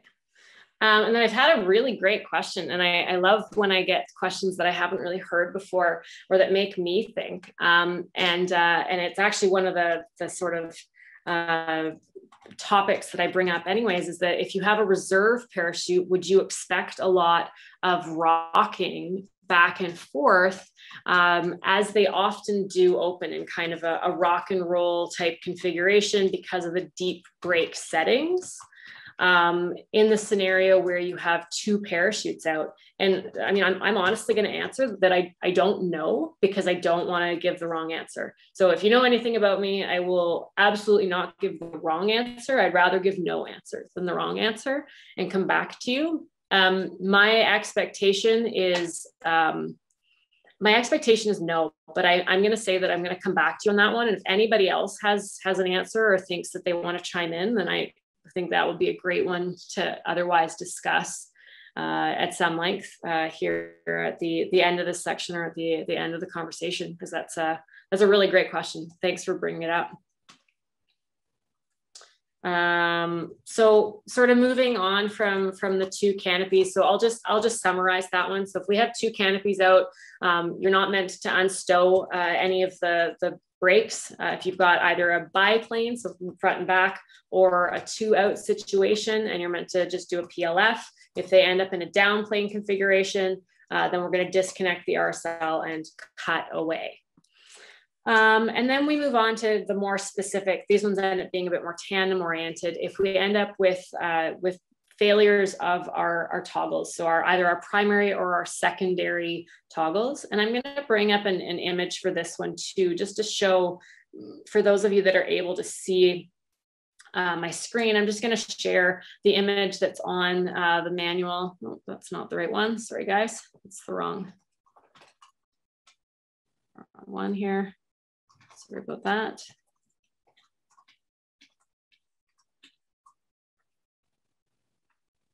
There we go. All right. Why is it? There we go. Um, is that right, Nick? Can you see the correct screen? Okay. Sorry about the delay there, guys. Okay, so this is just uh, on page 12, I believe, of the Sigma 2 main canopy uh, the, in the tandem manual. So this is just showing the configuration of those brakes. And so the reason why I find that it's important to, to show this or to explain it is because the emergency procedure that's outlined by UPT is expecting that you're flying a parachute that's in this configuration. So when they say, if you have a primary control line, that's one of your gold toggles that breaks, um, then go ahead and you're going to cut away and deploy your reserve. So that's the emergency procedure outlined by UPT. And that's because if you look at this configuration, um, and so for anybody that happens to not be able to see it, uh, we've got four cascaded lines that are going uh, ultimately to that gold toggle, whereas the secondary, the black or the flare toggles, only has two um, lines in this configuration. And so that's where the emergency procedure stems from, is from it being in this orientation, which is how it comes from the manufacturer. So if you have a primary control handle that is faulty, it's broken, then you're going to cut away and deploy the reserve. Whereas if you have a broken black toggle, then you can do a control check and then decide for yourself if you can safely land that parachute. And that's because of the fraction of the parachute that's held by each of those toggles. The reason I like to bring up the diagram and discuss this in a little bit more variation is because there are lots of drop zones globally that don't use the Sigma canopy. You're supposed to, you know, in the um, Sigma container. However, we know that, globally there are lots of um, drop zones that use Icarus and HOPS and other parachutes, and those could have different configurations. So knowing that configuration might change your emergency procedure for this. I know that I have jumped at drop zones in the past where the yellow uh, gold uh, instructor toggle didn't have a very high fraction of the parachute. So if it broke, my procedure would probably have been to do a control check and decide from there uh, versus what the actual manufacturer recommendation is based on their toggle configurations. So hopefully that makes some sense. I'll stop the share here um, and, and move on to our next section. So just, just to summarize that, broken gold toggle, cutaway, deploy reserve, broken black toggle, uh, do a canopy control check, determine if you think it's landable. If not, by 3,000 feet, cutaway, deploy the reserve. Um, so then number 29 is uh, the rock and roll opening. So uh, that kind of got, brought up as a, you know, a question around what to do if the reserve uh, like opens in a rock and roll configuration. So I do always like to remind people if they haven't had a reserve opening, it does open in deep brakes. It can tend to pendulum back and forth. Um, then uh, it, it, can be important uh, for us to know that so that we don't panic or think that we're in a, a, double malfunction, just to go ahead and release the brakes so that it isn't doing the, the rocking back and forth. Um, and then I think that that's a, a fairly good segue into um, the last piece that I have, a couple pieces that I have to talk about in this section. So I will say that in the current version of the manual, which is, is meant to be revised uh, very soon, uh, it doesn't include a do not cut away below altitude. And I think this is a really important thing to discuss in both your personal life as well as in your professional life. So, as an experienced jumper, you should have a value that is your personal do not cut away below altitude, and then one for your tandems as well. At the moment, it's not outlined uh, in the UPT manual, and I expect it will stay that way. I think that for you personally, it would be important for you to have that number in mind so that you're not making the decision on the spot. So scenarios where you could end up needing to execute an emergency procedure below your hard deck would be, say, in a canopy entanglement situation, or a wingsuiter flies through and breaks some of your lines, um, something unexpected. So if you end up, say, at 1500 feet, it would be important for you to already know in your mind whether you're still cutting away and deploying your reserve or if you're simply going to add fabric. Uh, so for students, I normally tell them that a thousand feet is generally going to be their bottom line for that, where they would no longer cut away. They would simply deploy their reserve to add fabric. Uh, I personally use a value of 1,800 feet, uh, but I would recommend that you have a conversation with uh, people around your own drop zone, uh, people that you feel comfortable talking to, um, and just uh, assess your own sort of trust in the skyhook system and your own equipment and uh, at what altitude you'd rather add fabric. And then that brings me into my last point, uh, which is relating to the Collins lanyard. So the malfunction that happened most recently uh, that resulted in that advisory relating to the hand cam release.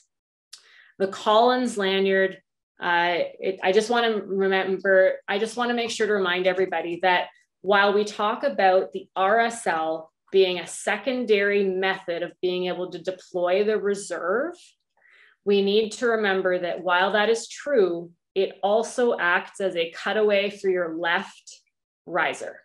Okay, so the RSL is connected to our Collins lanyard, and if we need to use that, it can be used absolutely to deploy a reserve. But in the event where you already have a main parachute, it is going to disconnect your left riser.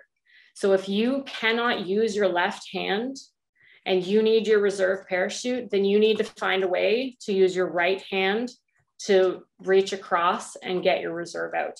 Because using that sort of secondary tactic for releasing your reserve, for deploying your reserve, is also going to have the negative effect of disconnecting your left main riser which is fine in a scenario where we just need to get our reserve out, but not great in a scenario where we don't want to be getting rid of any part of our main. Okay, uh, Allison's gonna take your questions now. Well, right now I see no hands up, but if anyone has any questions, I know there's been some coming through there, which you've been answering as well. And it, yeah. All right. Well, I see no hands up, Erika. You're just doing a smashing job. I love it. I'll let you continue on unless uh, er, er, Nick sees anything otherwise.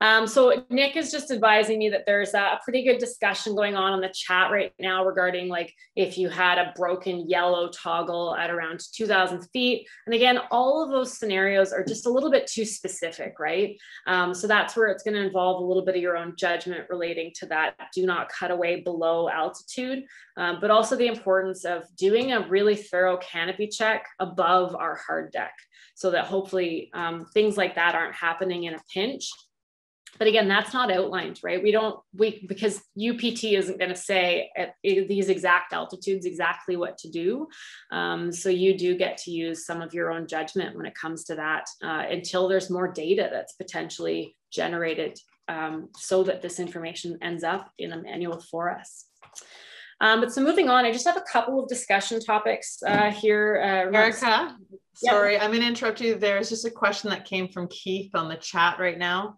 Uh, so on a two out, a non-downplane scenario, what is the suggested setting for your passengers harness and or connect connections?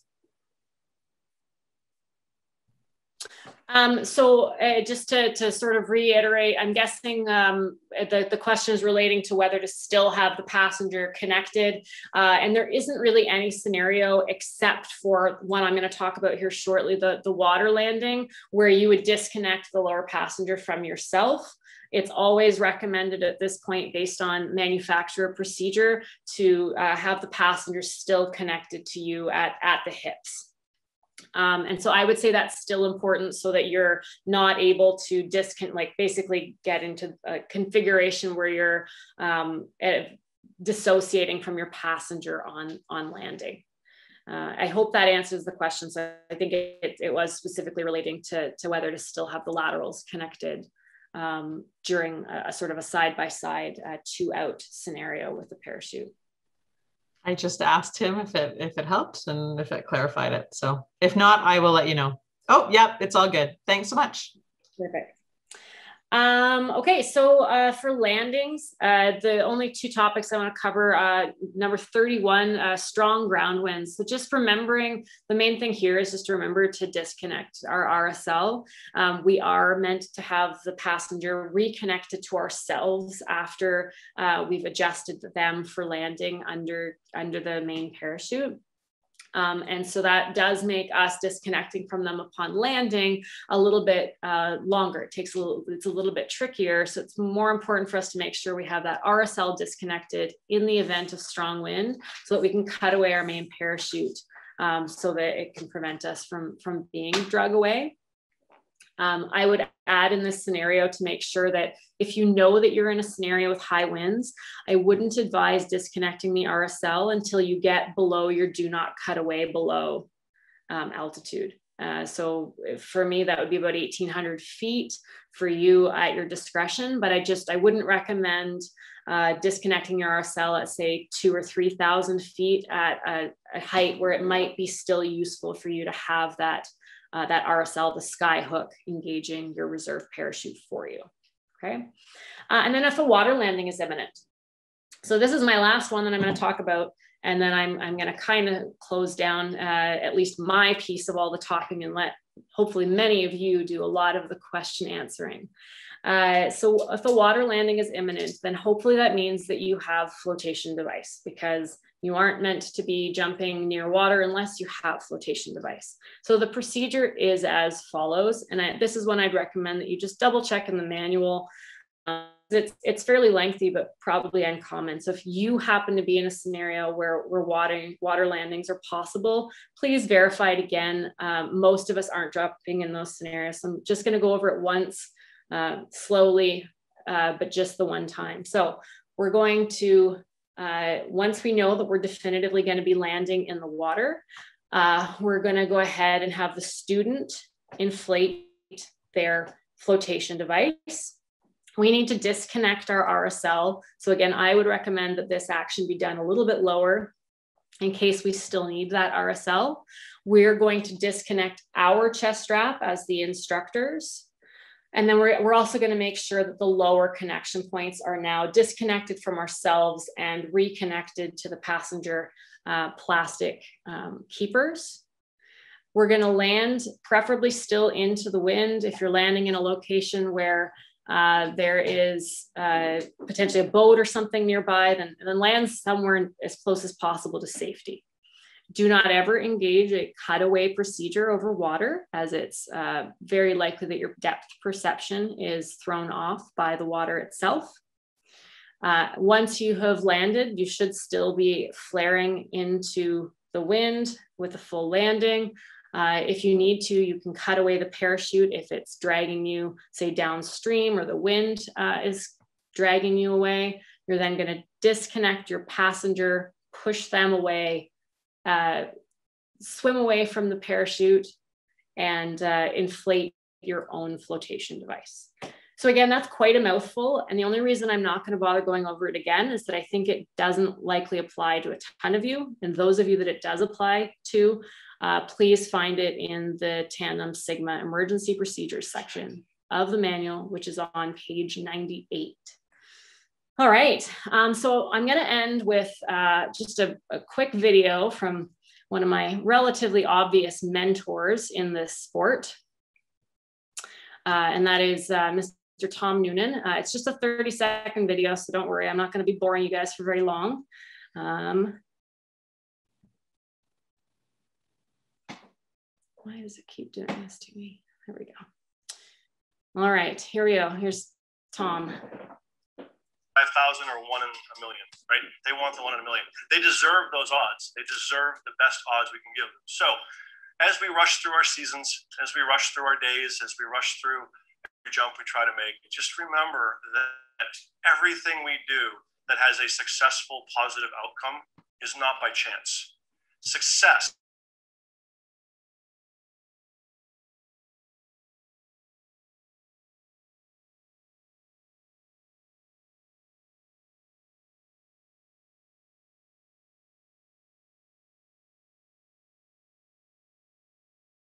um, you are. Okay, so um, I think Tom just really, really nicely summarizes that uh, basically us being prepared and us making good decisions ultimately ends up good outcomes. I really like that. I couldn't say it any better. The piece that I want to close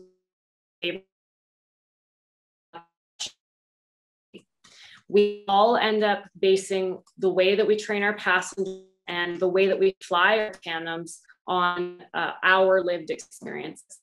We have engaged and seen certain behaviors more often. If we've experienced certain things that our friends haven't, then we're going to have certain perceptions of how things should be done.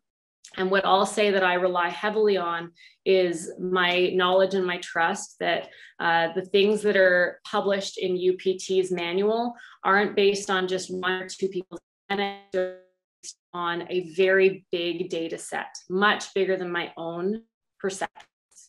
Uh, and so just keeping that in mind, I find gives me a lot more trust in why I'm supposed to do things a certain way, even if um, my ex- experiences have shown me otherwise. Uh, I'm still able to follow manufacturers' recommendations uh, because of that knowledge. So thank you all for uh, your attendance here so far tonight. Uh, I'm sorry, I feel like I've gone over a little bit uh, with this presentation that I'd wanted to. Um, I'm going to open it up to discussion. I have gotten a couple of questions sent to me directly, uh, but my plan will be at this point to kind of just uh, leave it as some open discussion. I'm going to throw those questions out for other people to answer because I think I'm tired of hearing myself talk. You guys are probably uh, looking forward to hearing some other voices as well. So thank you all. Questions, open discussion. I'm still going to be here. I'm going to have one of those mini human things that's probably going to cost me pretty soon. Uh, so I might be in and out, but I'll still make myself available for uh, pretty much the majority of the next hour for any uh, extra questions or discussion that you guys might want to have. And uh, thank you, Erika. I do, I see some hands up, so I will get to those questions really quickly here or in a moment.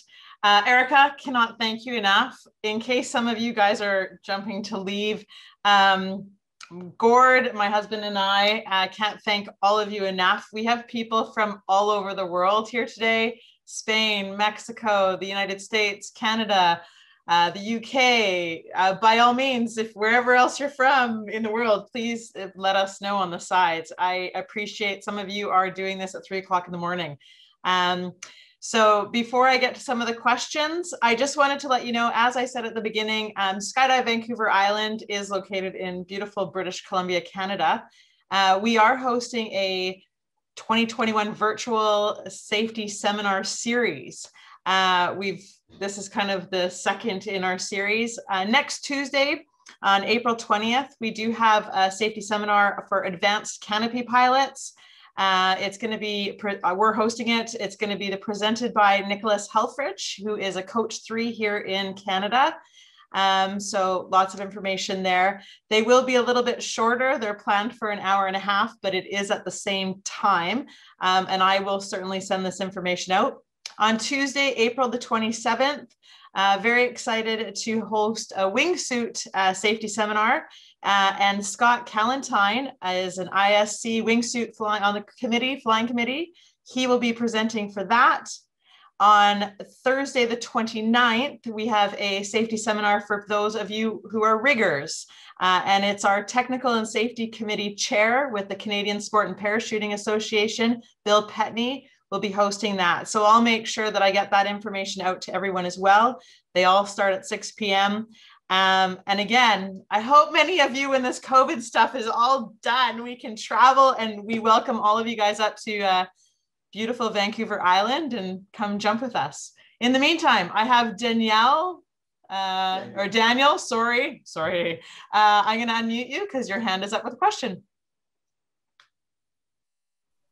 Hi, th thank you so much for uh, putting this together. It's been very informative, very thorough as well.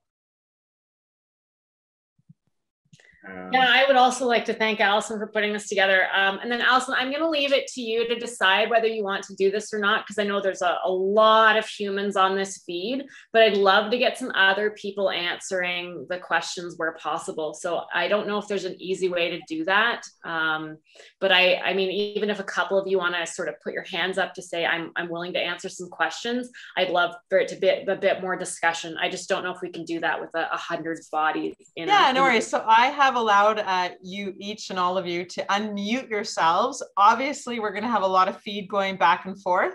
Um, so we're just going to have to, you know, we've been doing this now for how long? I mean, if there is some cool things that have come out of COVID, I guess, um, and that's being able to bring people all around the world and learning patience and manners and interrupting each other. But uh, yeah, so you guys all have the ability to unmute yourselves right now. Um, you should. Yes.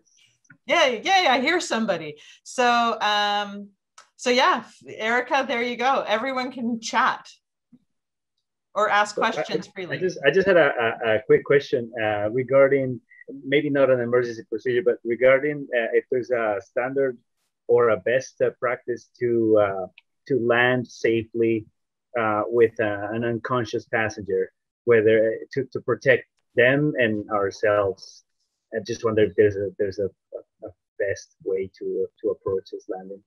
Um, that's a great question. I'd love for some other people to, to chime in because I, I would say that the best practice varies super widely based on uh, where the actual landing area is going to be, um, whether you're able to land in sort of a pea gravel bowl or otherwise, uh, but also sort of the strength and the abilities of the tandem instructor. Uh, because uh, a larger or a taller instructor is going to have a better ability to uh, potentially scoop the passenger's legs uh, with their own legs. Uh, I know in sort of the the couple of scenario, I, have actually only had one. I've had one scenario where I've had to do it myself. Um, I did kind of try to scoop the legs, and when that didn't really work very well, uh, I ended up doing a bit of a, a, sort of an uneven flare blind man type tactic. Uh, but I admit that I feel like it was 57% uh, luck and 43% skill. Um, so if anybody else has any uh, suggestions around um, how they would tackle this. I mean, personally, I would probably say, uh, Daniel, for you to ask somebody that's a similar size to you uh, what they would do. Um, because I would probably not benefit from how you would do it um, based on the fact that I'm, you know, five foot four. Uh, so that would be my feedback. But let's see if anybody else wants to unmute and, and give any kind of answer.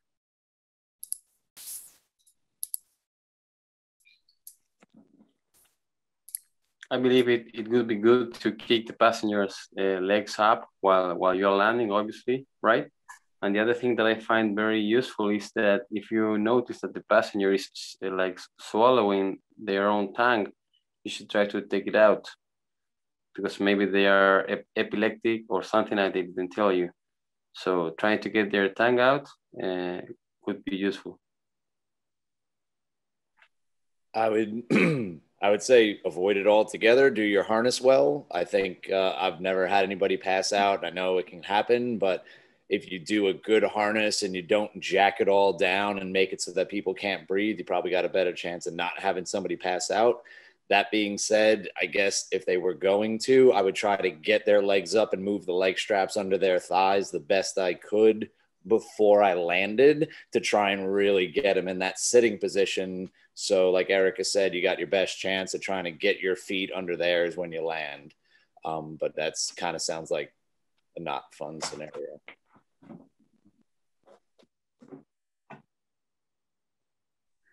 Uh, yeah, excellent answer. Thanks for jumping in on that one, John. Uh, so that that kind of segues fairly well to. Um, I did have somebody pr- private message me to ask um, recommendations on dealing with heavier passengers. Um, so if anybody wants to jump in and just make some suggestions around how they deal with heavier passengers, that would that I think that would be great.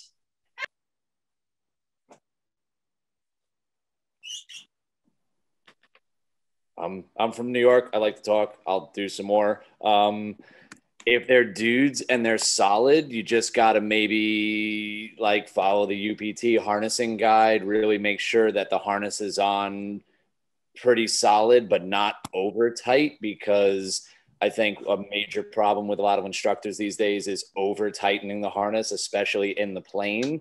Um, so dudes tend to be a little more solid so it's a little easier to get on heavier female passengers if i could be like i don't know gender weird they tend to be a little softer so sometimes you really got to make sure that even though if they're big you got to make sure that you have the harness set for their actual height and not the amount of space they take up with the harness if someone's kind of round and soft it comes with experience but you know spend a little more time on the harness, get really good at harnessing, and it makes the bigger, heavier people a lot easier to deal with. I think harnessing is something that is really, really lacking in a lot of tandem instructors.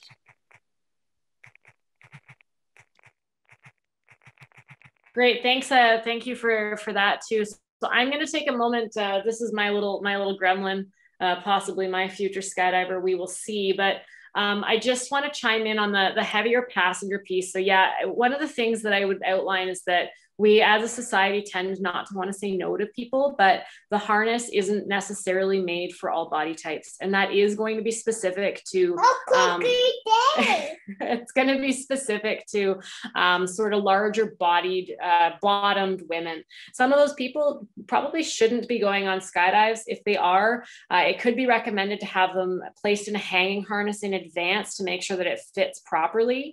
Uh, and you might also find, uh, for lack of a politically correct correct term that because of the fat slump, it can help for you to do an additional tightening uh, before you get in the airplane. So normally we can do just one adjustment of the harness.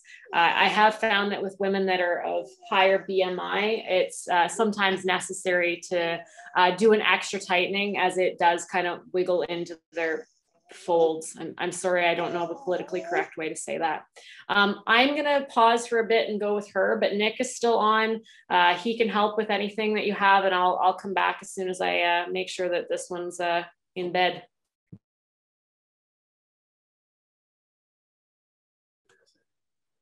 Does anyone have any other direct questions or do you guys just, oh, hi, Nick. I should take this moment to also thank Nick. And just so you guys are aware, uh, Nick is uh, Erika's significant other. He is also very well versed and experienced as a tandem instructor and, and many other things.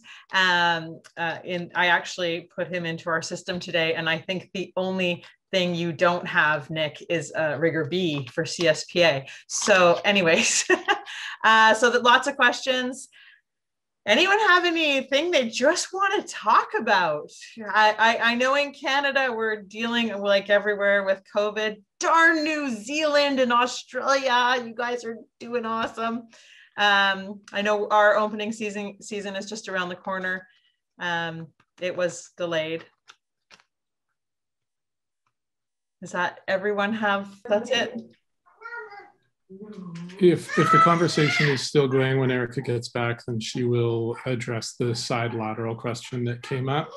Um, I think somebody mentioned that in the chat a little while ago when I ran away to pick up the little one, but um, she will address that uh, once she's back if uh, there are still people on here and, and they want to hear it. Uh, Nick, I have a question from John, but also Ariel. Thank you very much. We do love our jerseys. They're pretty styling. I don't know if you can tell, nice BC flag down the arm. Uh, you can private message me and I would happily, we'd ship them anywhere. So yes.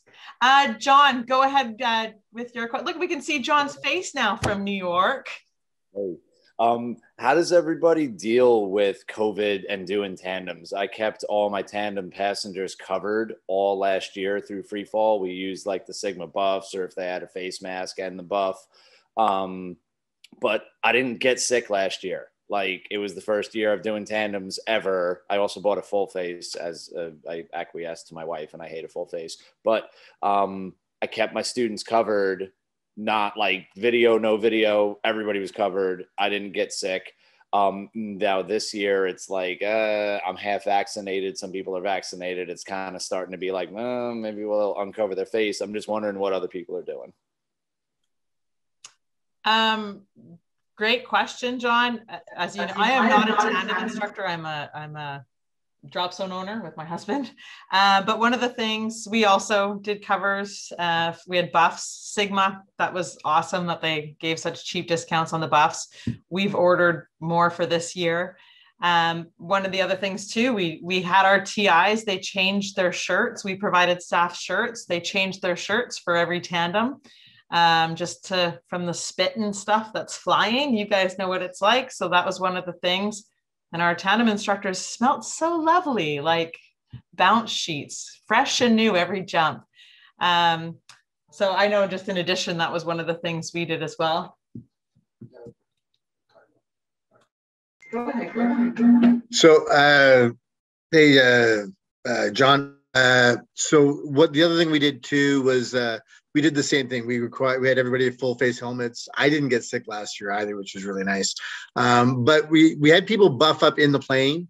But once they're out of like once the door was open and my mask was down, we let them pull them down if they wanted to. Um, and but I I still had mine up underneath underneath my mask. And then so then when the canopy opened, I could open up my mask and whatever I don't know. At least their video turned out a little bit better, and that's that's why I sort of ended up doing that more than anything else. But yeah, same kind of challenges. I wondered, like, I didn't get sick, but I didn't know if free fall did it. Like this year, we're keeping everybody covered in the plane, and it's starting to be a little more like, all right, if you want to take it off in free fall, you can. You know, it's all kind of anecdotal, but I was wondering, like, you know, how other people were dealing. Yeah, I'm basically telling people once the door opens, if or once we're at the door, if you want to pull it down, you can go ahead and pull it down. That's what I'm saying. So.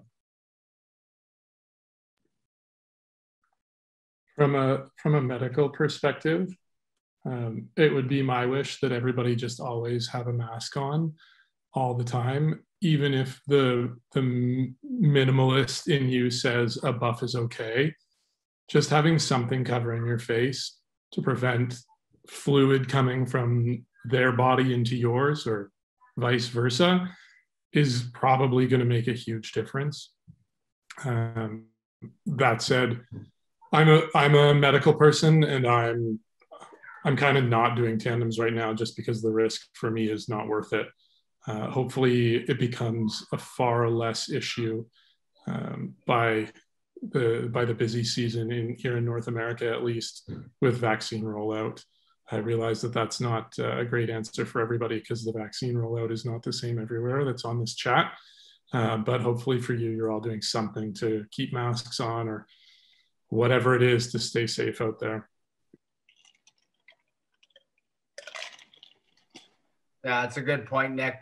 Uh, being in the military, uh, John brings up a good point. Like it's the human tendency, right? As things kind of drag on, people become a little bit more complacent and uh, the risk just wasn't there. I, I couldn't tandem at all, just at the risk of bringing it back into the military. So. Yeah, so each person has to uh, has to sort of make their own um, their own decisions on that front, uh, I suppose. Uh, but as Gord mentioned, uh, full face helmets are a really good idea, making sure that you're masked up as an instructor, trying to make sure that your students are masked up as best you can. Um, and yeah, and hope for the best if it's something that you need to be doing because that's your full-time gig. Um, I have a, a, side question here as well. Um, just Nick, you'll probably be able to answer this if Erika can't. Um, so, what is the procedure to hook up a passenger in a tight 182? Yeah, I can definitely, I can definitely feel that one. Um, there, there are a few different ways that people tend to to use the 182 to sit in and and to exit. And um, personally, I'm a big fan of being seated in a 182 or in a small Cessna aircraft like that, um, facing the back of the airplane. And I, I like that both sitting in the front or in the JM position right next to the pilot, if you will. And I, I like that sitting in the back of the airplane. So typically, as long as weight and balance will allow from a pilot's perspective, uh, having the your the instructor's rig against the back of the pilot seat. So in either of those two situations, most specifically in a narrow body 182, um, the, the key is to make sure that the person you're in the airplane with is cognizant of the fact that there are two tandems in the airplane. Um, and if if there are not if there's not another tandem in the back of the plane and you're sitting up front uh, for whatever reason, um, making sure that those people are are giving you the space that you need. Um, in in the 182 i tend to connect if i'm sitting next to the pilot i'll start there if i'm sitting next to the pilot i tend to connect my lowers uh, as soon as we're in the airplane now, i realize that this is maybe not the best practice especially in emergency situation but i am cognizant of the fact that that's what i'm doing and that i need to disconnect those lower connection points if we're going to be in an aircraft emergency i find with with the lowers connected, um, it's fairly easy to do up the tops because the, the customer is sitting between my legs and I'll just wrap, sort of wrap my legs around them. Um, it's a little bit awkward, but doing a tandem skydive in general is a little bit awkward. So you, you sort of, as an instructor, need to get over that, that little piece. Um, to, to get those lowers tightened, sorry, that's the little one saying goodbye for anybody that cares to get the to get the lowers tightened adequately, sitting next to the pilot, I typically in a narrow body 182 do need to have the customer sit up on my legs. If there's no way that the customer can move, I'll figure it out. But ideally, they sit up on my legs, and that's the, the language that I will use. I will never ask a customer to sit on my lap. I will say, please push yourself up onto my legs. They'll sit on my legs.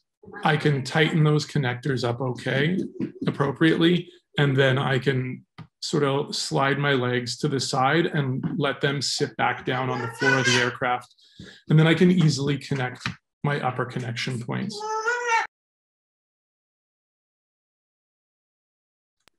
Uh, when I'm sitting in the when I'm sitting in the back of the airplane, um, it's a lot easier. But because my procedure sitting in the front of the airplane is to have a customer sit on my legs, I will always also have the customer sit on my legs when I'm in the back of the airplane because I don't ever want to treat one customer different from another, um, sort of from a liability perspective. And so sitting in the back of the airplane, I'll do the same thing, only obviously there's a lot more a lot more space there. Again, I'm seated with my back facing the front of the aircraft in either of those two positions. When the door comes open, it's very easy for me to turn and get my left leg out of the airplane, allowing the customer to swing their legs out of the airplane and then get my right leg out or bring my right foot back and be on my right knee in the door of the aircraft. I realize this is a little bit difficult as a just me describing it. It's a lot easier to demonstrate. I wish I could sit at a mock-up and show you guys how that works. It's just not a, a reality at this point in time. But the key for me is making sure that the customer is sitting on my legs. I can get those laterals tightened and then I squish them down back between my legs, back with their bums on the floor. Either way, I can then easily do up the uppers. Uh, hopefully that answers the, the question. Um, I know, as I said, some people like to uh, exit a 182 facing the front of the airplane from their knees. I've seen it done. I learned this on my course when I first started doing tandems almost 15 years ago, I think it was now. And for me, it was just super uncomfortable. But if you're going to do that, usually uh, there are two ways to have the customer either sitting on their bum facing the front of the aircraft. If again, if you're sitting next to the pilot, they're facing the front of the aircraft either with their feet out in front of them, down towards the rudder pedals, not my preferred choice, or with the customer also on their knees with their feet underneath them. I would then sort of straddle their feet and bring my knees up as close as I could to them. And we're kind of in this awkward, forward leaned, kneeling position so that I can easily reach down and connect those laterals. Um, if I'm exiting from my knees, I'm not connecting the laterals as soon as we're in the airplane uh, it, because it's just not possible to do any sort of moving or turning around in the airplane uh, with them done up. So the customer would get on their knees, I would get on my knees behind them, connect the lowers, connect the uppers uh, once the lowers are tight, and it should be fairly simple in that in that scenario.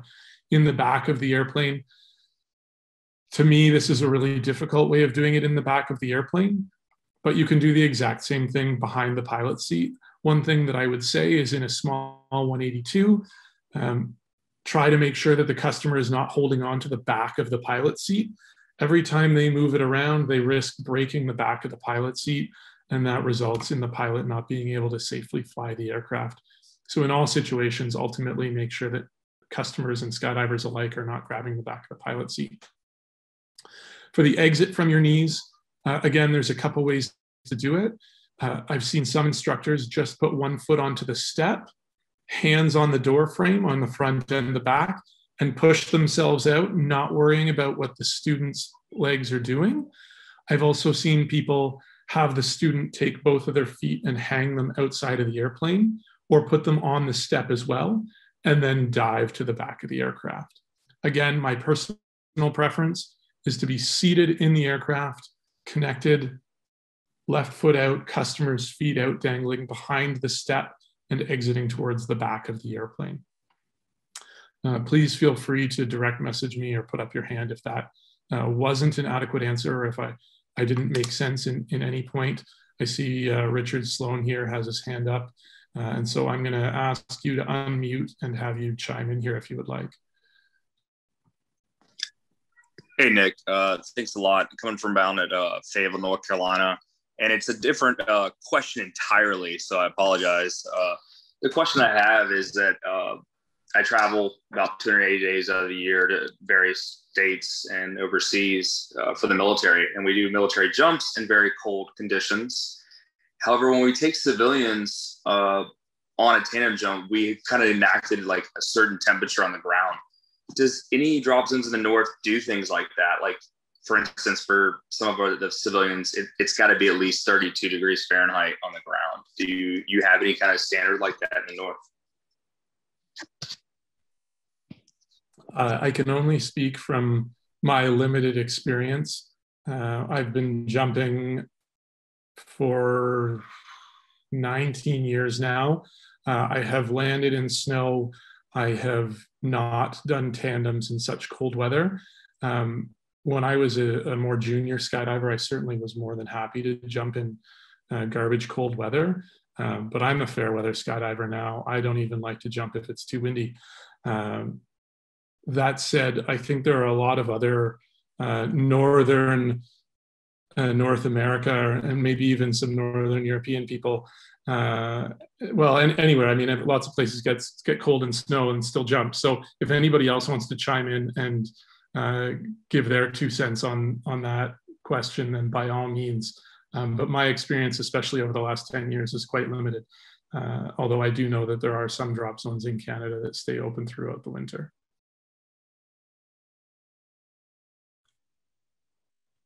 We're sissies. So for us, uh, for Skydive Vancouver we live in Western on the West Coast. We're the Hawaii of Canada. Um, it, it was like, I don't know, 18 degrees or something today.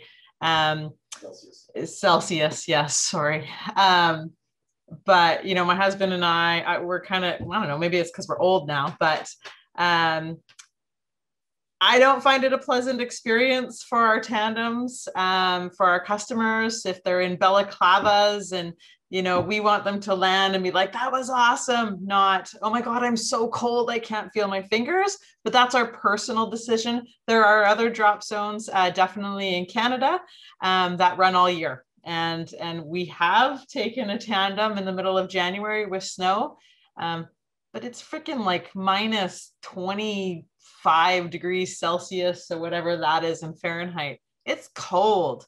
So that that's our personal decision as dzos i don't know if anyone else is like i don't know like chicago anyone here new york you guys have cold weather. What do you do john? Anyone else? Um, my boss, if it's not above freezing on the ground, he doesn't want to fly the plane. Like I've, we, you know, there's days where we push the plane out of the hangar to like let it sit in the sun for a little bit to get the ice off it and then go jump. But like he also doesn't want the gear in the snow. So we like once that kind of weather hits, he's like, yeah, it's diminishing returns. And for like the handful of people that want to do a tandem, he's like, yeah, come back in March or April. Um, I've done some really cold ones I just hide behind them. Like I had a girl once. It's like I'm like it's gonna be super cold. She's like I know. I'm like no, you don't. And like it was stupid cold, and she was like, "Man, that sucks." I was like, "I tell you." So no, like once at a certain point, like it's just not fun. So I mean, I'll still do it because I'm here, but uh, yeah, I don't need to be dealing super cold tandems anymore. Thanks, guys. Is this where we're all like frowning at our Mexico friends that are on this call? I don't know if our Mexico people are still on here. but uh, yeah, good question though. I like that they actually have an actual number. It's like a wind number, right? It's like an actual temperature. And I'm sorry, today is minus whatever. Anyone else have any questions, cool things to talk about? Just to go back to the 182 oh, question. I oh, sorry. A couple people had. Sorry, Nick. Someone in Norway says they do jumps uh, in way too cold weather in Norway. That's their comment. Yeah, but in Norway they're way stronger than we are. Exactly right. uh, Evan and and the other people that asked about uh, 182 exits um, did I answer the questions that you had? Sorry, the chat's gone gone on a little bit there, and I want to make sure that I didn't miss something in your questions.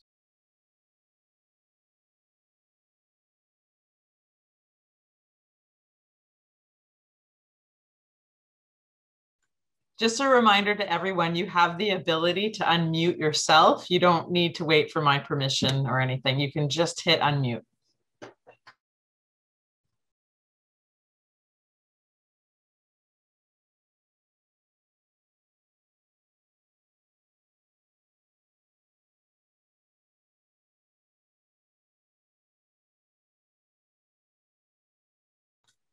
Well, on that note, I, I think that if no one has anything else to add, uh, for several of you, it's uh, there's already one guy who left because they're jumping. It's like jump time.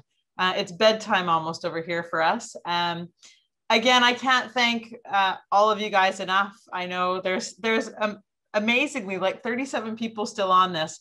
We had entire DZs come out here uh, onto this call today. I hope to see many of you if you are uh, interested in some of uh, the other topics we'll be having. By all means, I invite you if you know people who uh, are wingsuiters or advanced canopy pilots or riggers. Um, by all means, I'll get that information out. I have also set it in here. Um, I will be sending everyone else an email. I will make sure that uh, Erika and Nick and I work together to any links that we've talked to or referred to. I'll make sure they're sent in that and it looks like my recording actually recorded this whole thing. I'm seeing the record light. Unfortunately, I had technical issues last time. So I will send a link out to the recording as well. Um, I hope you can all come up to Canada one day, the west coast of Canada, the best coast of Canada, and uh, come visit us at Skydive Vancouver Island. I hope one day I get to see all of you, be it at Boogies or your drop zones.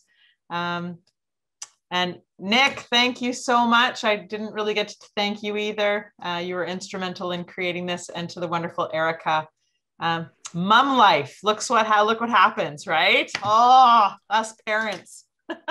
yeah, sorry guys. Erika's still still trying to get Annalise down for bed, but um, all good. Uh, she says good night and thank you to everybody for joining in. Um, Allison, if I could, I I did uh, get a message here from from someone suggesting that the the part of the 182 question I didn't cover was how to not like do a front flip as you exited the airplane. Um, and in my experience, uh, the key, especially with a, a dive towards the back of the airplane, um, is I think the best way for me to describe it is to think about um, diving up if that makes sense. So you're going, like if you were to, as you leave the airplane, of course, feet on your butt and hands out as far as you can in front of you, grabbing as much air as you can, um, trying to dive at or above the tail. Uh, now, I've, I've never met anybody that could launch themselves far enough to actually be able to reach the tail. Um, so your mileage may vary, but in my experience, I've not been able to do that. Um, but I found that by trying to go up, of course, without hitting the back of the wing or the, the flap, um, going up and allowing the passenger to pull you down into as you fall into the relative wind um, gives you a better chance of not doing a front flip as you leave the 182 with a, a diving exit towards the tail. So try to think about it in that sense as going rather than diving down, think about it as going up or at the tail and letting the passenger's weight pull you down. And you'll naturally rotate, probably a little bit head low regardless, but you shouldn't flip over.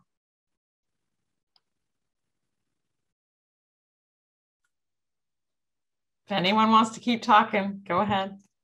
And if you need to leave, you're, believe me, lots of left too. So.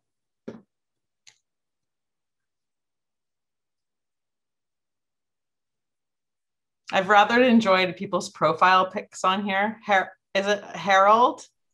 Your profile yeah. pic is awesome. You look like an actor. I love it. Thank you.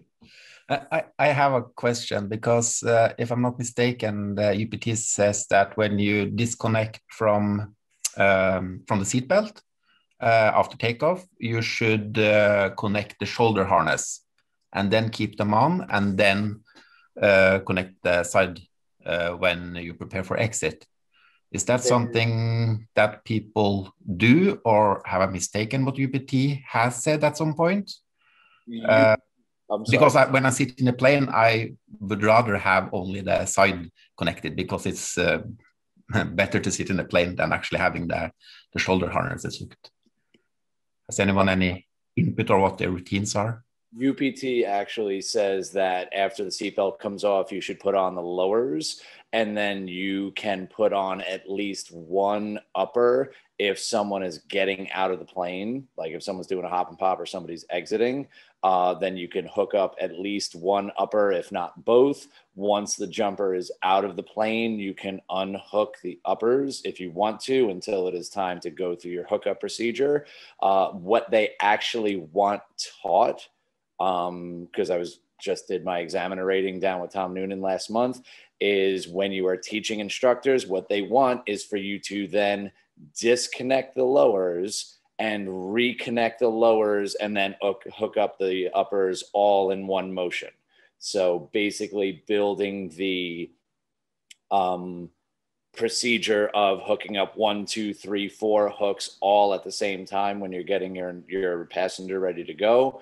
Uh, but they say it's not really outlined that you have to hook up the lowers once the seatbelt is off, but it is a good practice. But they also want it taught that when you are hooking up at nine or 10,000 feet or whenever you're hooking up, you should disconnect the lowers and have your student or whoever not your student, your candidate, if you were being an examiner, hook up the bottom and then hook up the top left and the top right, tighten up the bottoms, and then go through your procedure from there.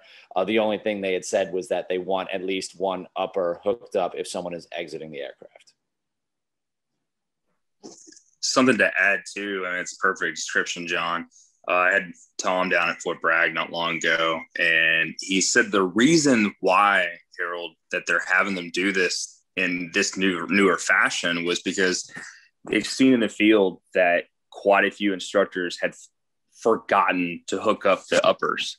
They've either done some circling around, go around, and I I agree with them that complacency is the demon of us after we had a long day, 20, 25 tandems, and then we get tired on that last few.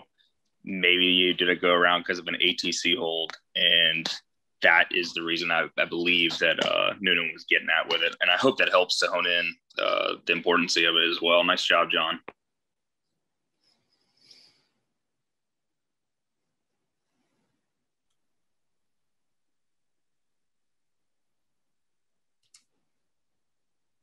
I was also going to uh, just invite anyone if anyone wants to talk about the camera, hand cam um, things. I do know that we have uh, a rigger on here as well who has made some for us. Brian Murray's on the call. So if anyone has any questions about the hand cam, what are they called? Sorry, I'm not a tandem instructor. I just know that it's yellow and you pull it and I lose my GoPro. That's what I know about it.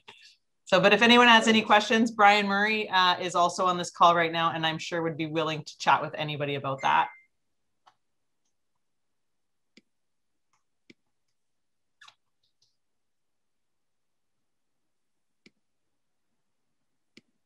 Well, it doesn't seem like there's much conversation left. So, uh, Erika, you're back, and we're going to leave now.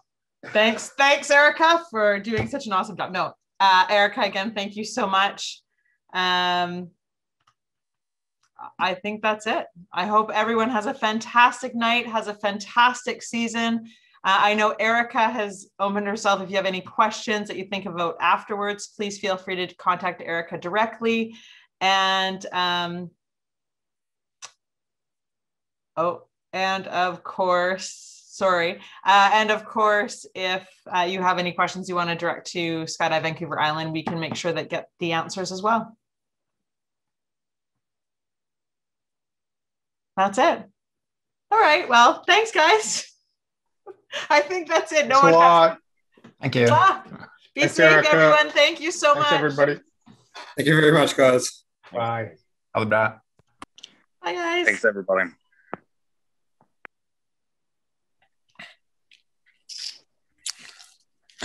Sure.